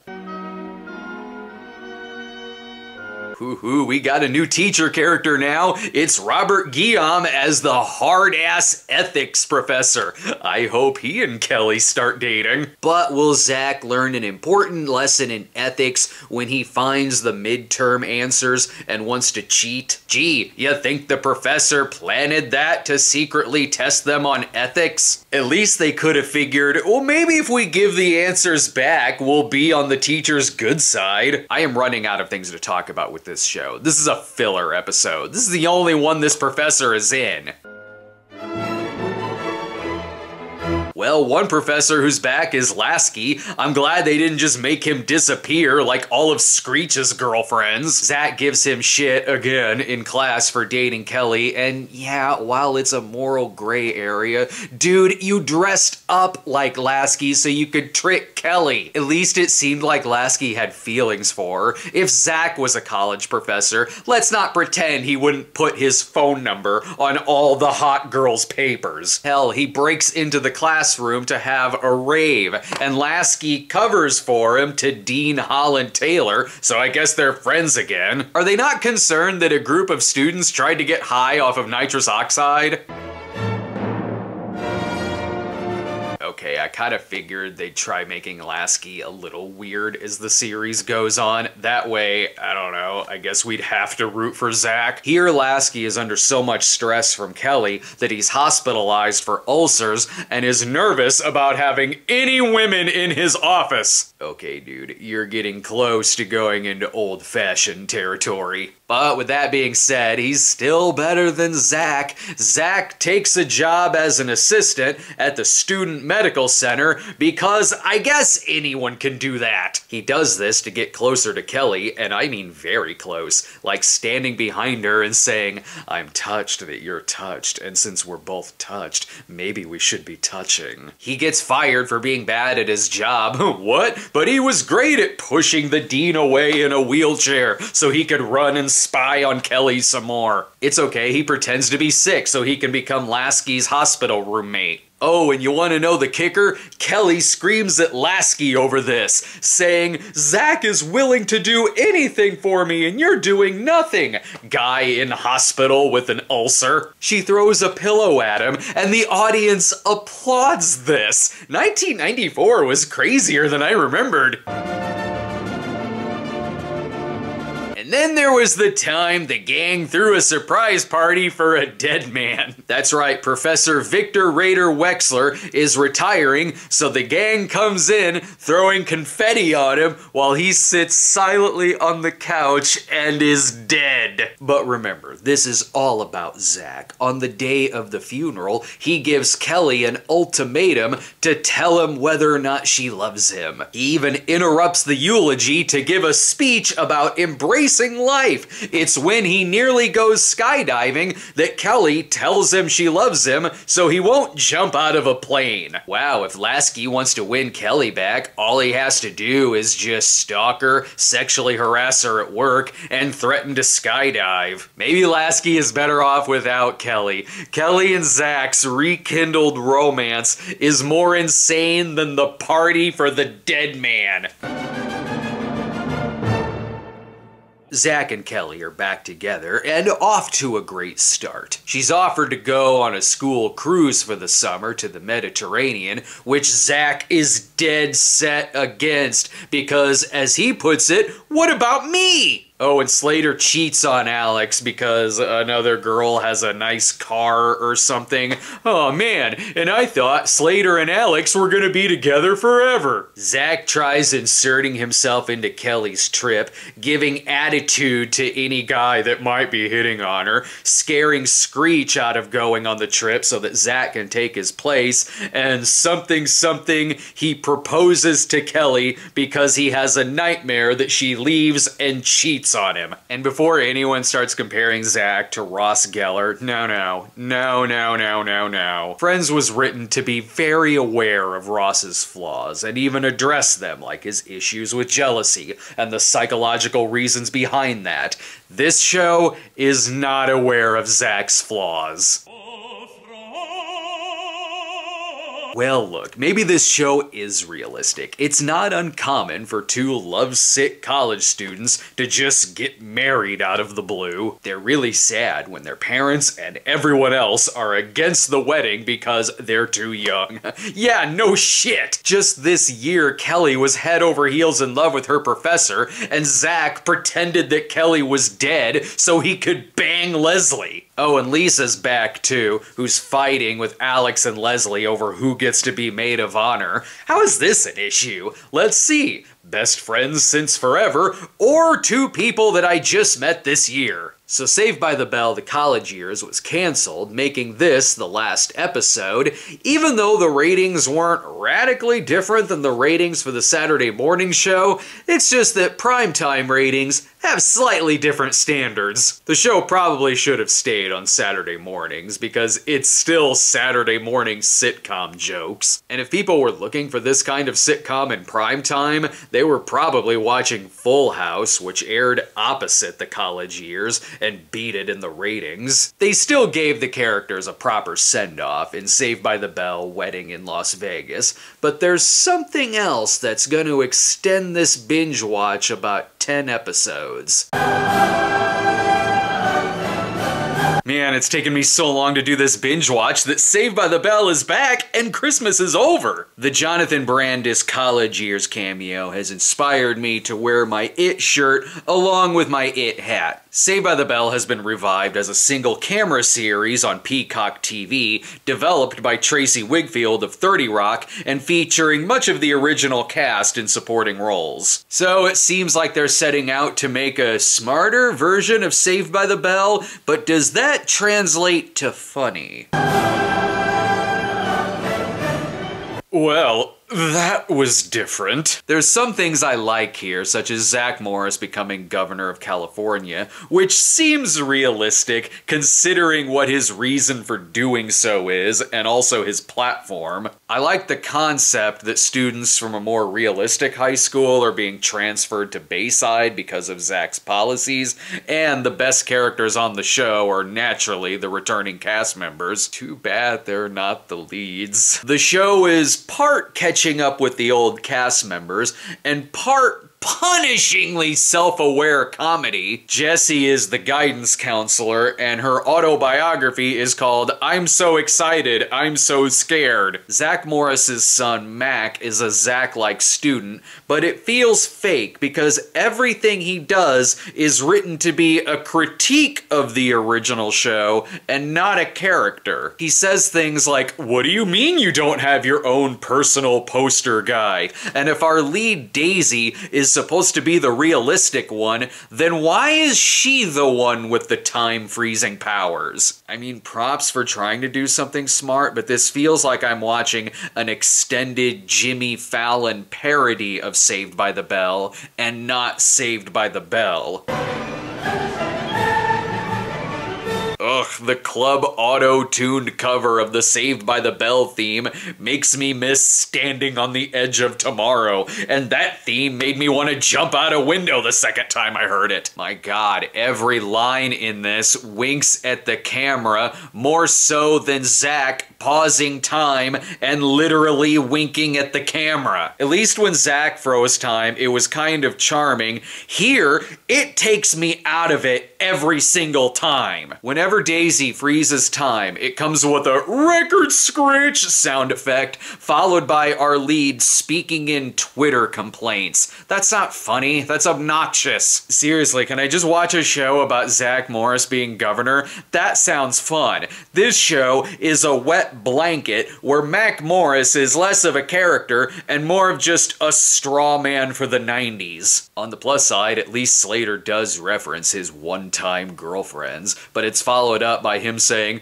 Oh, now that I say it out loud, that's kinda sad. Thanks, writer and not AC Slater.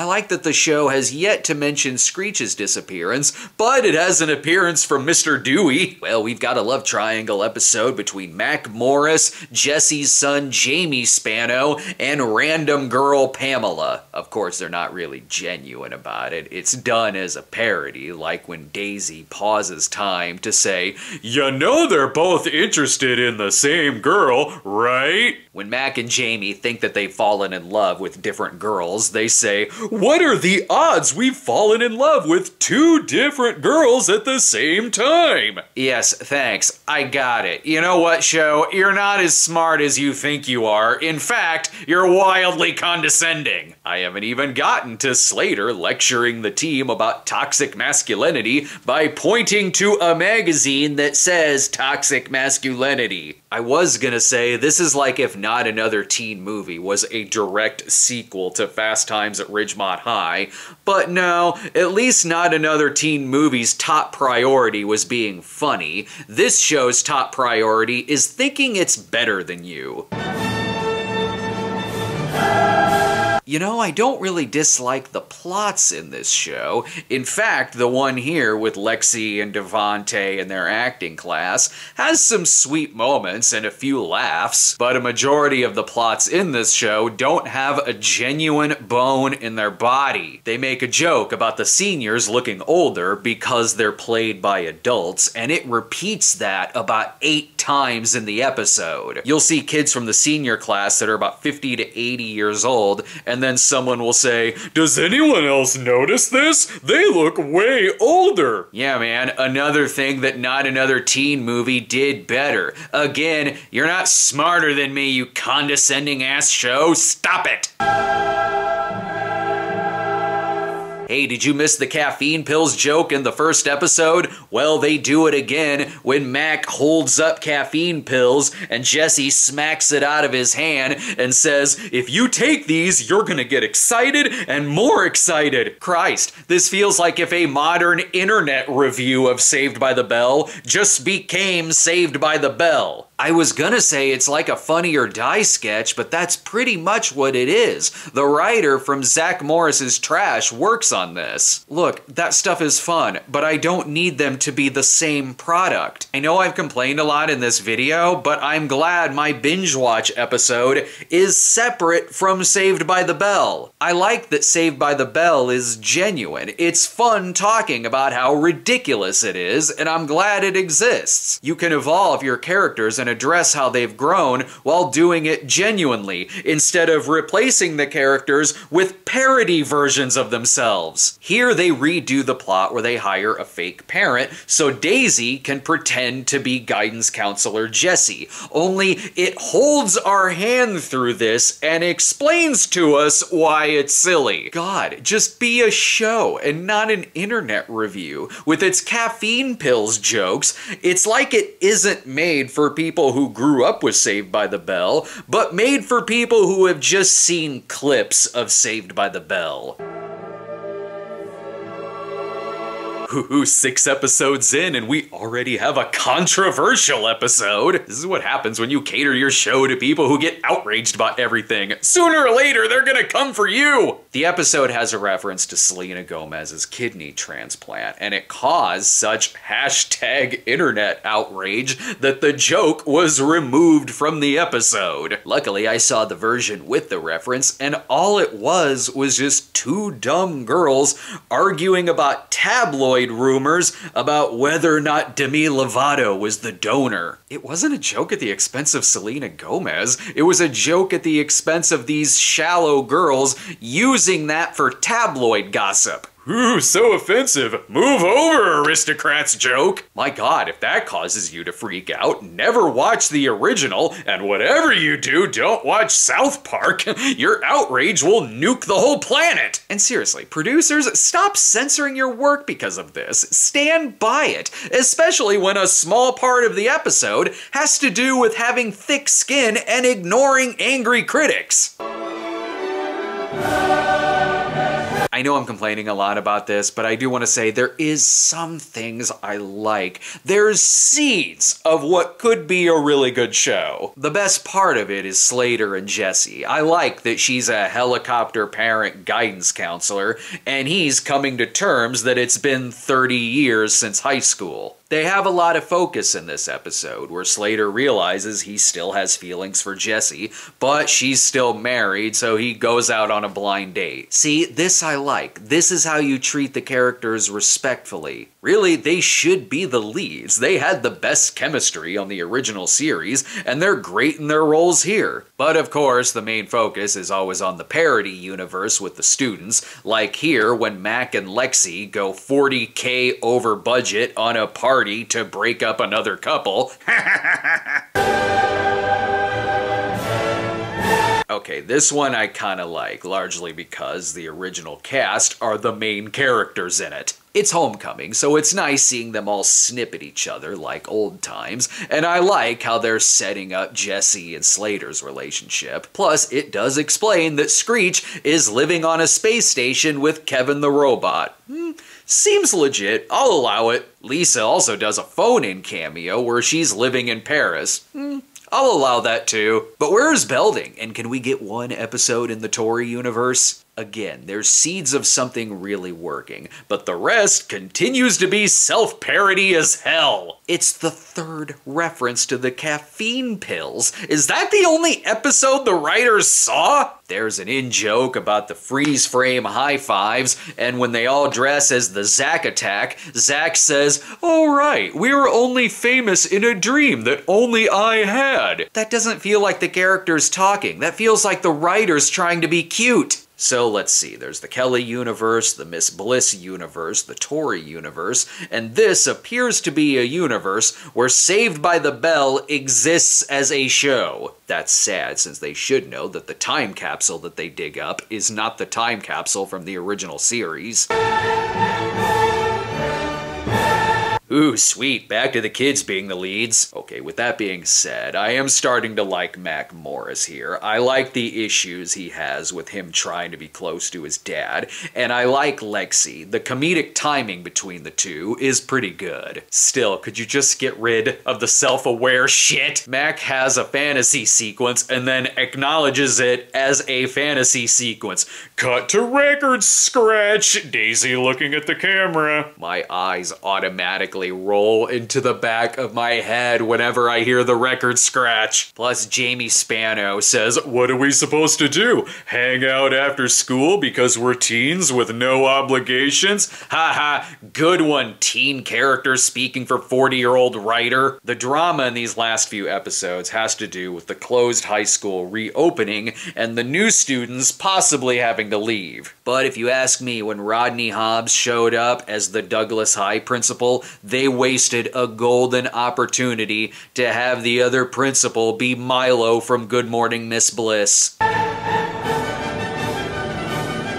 Well, it took until the finale, but they reference Tori in a wink wink sort of way. Zack says, Hey, new kids keep things fresh. Remember Tori? And Kelly goes, who? I'm still sticking with my multiple universe theory in that this one is a universe where they're all aware that Saved by the Bell is a show. Kelly is hardly even a character here. A majority of her dialogue is just referencing crazy things Zack did, like wanting to get Screech dissected. Again, that's not Kelly talking, that's the writer from Zack Morris's trash. Hell, this episode has the fourth reference to the caffeine pills addiction. However, I do kind of love the random ending where Mac Morris looks at his phone and says, huh, What's coronavirus? Ooh, careful, you're gonna get yelled at on Twitter again. Saved by the Bell joking about the coronavirus is the biggest tragedy since Jennifer Aniston's pandemic ornament. I really hope that this show pulls a reverse Good Morning Miss Bliss and minimizes the kids while giving more focus to the adults.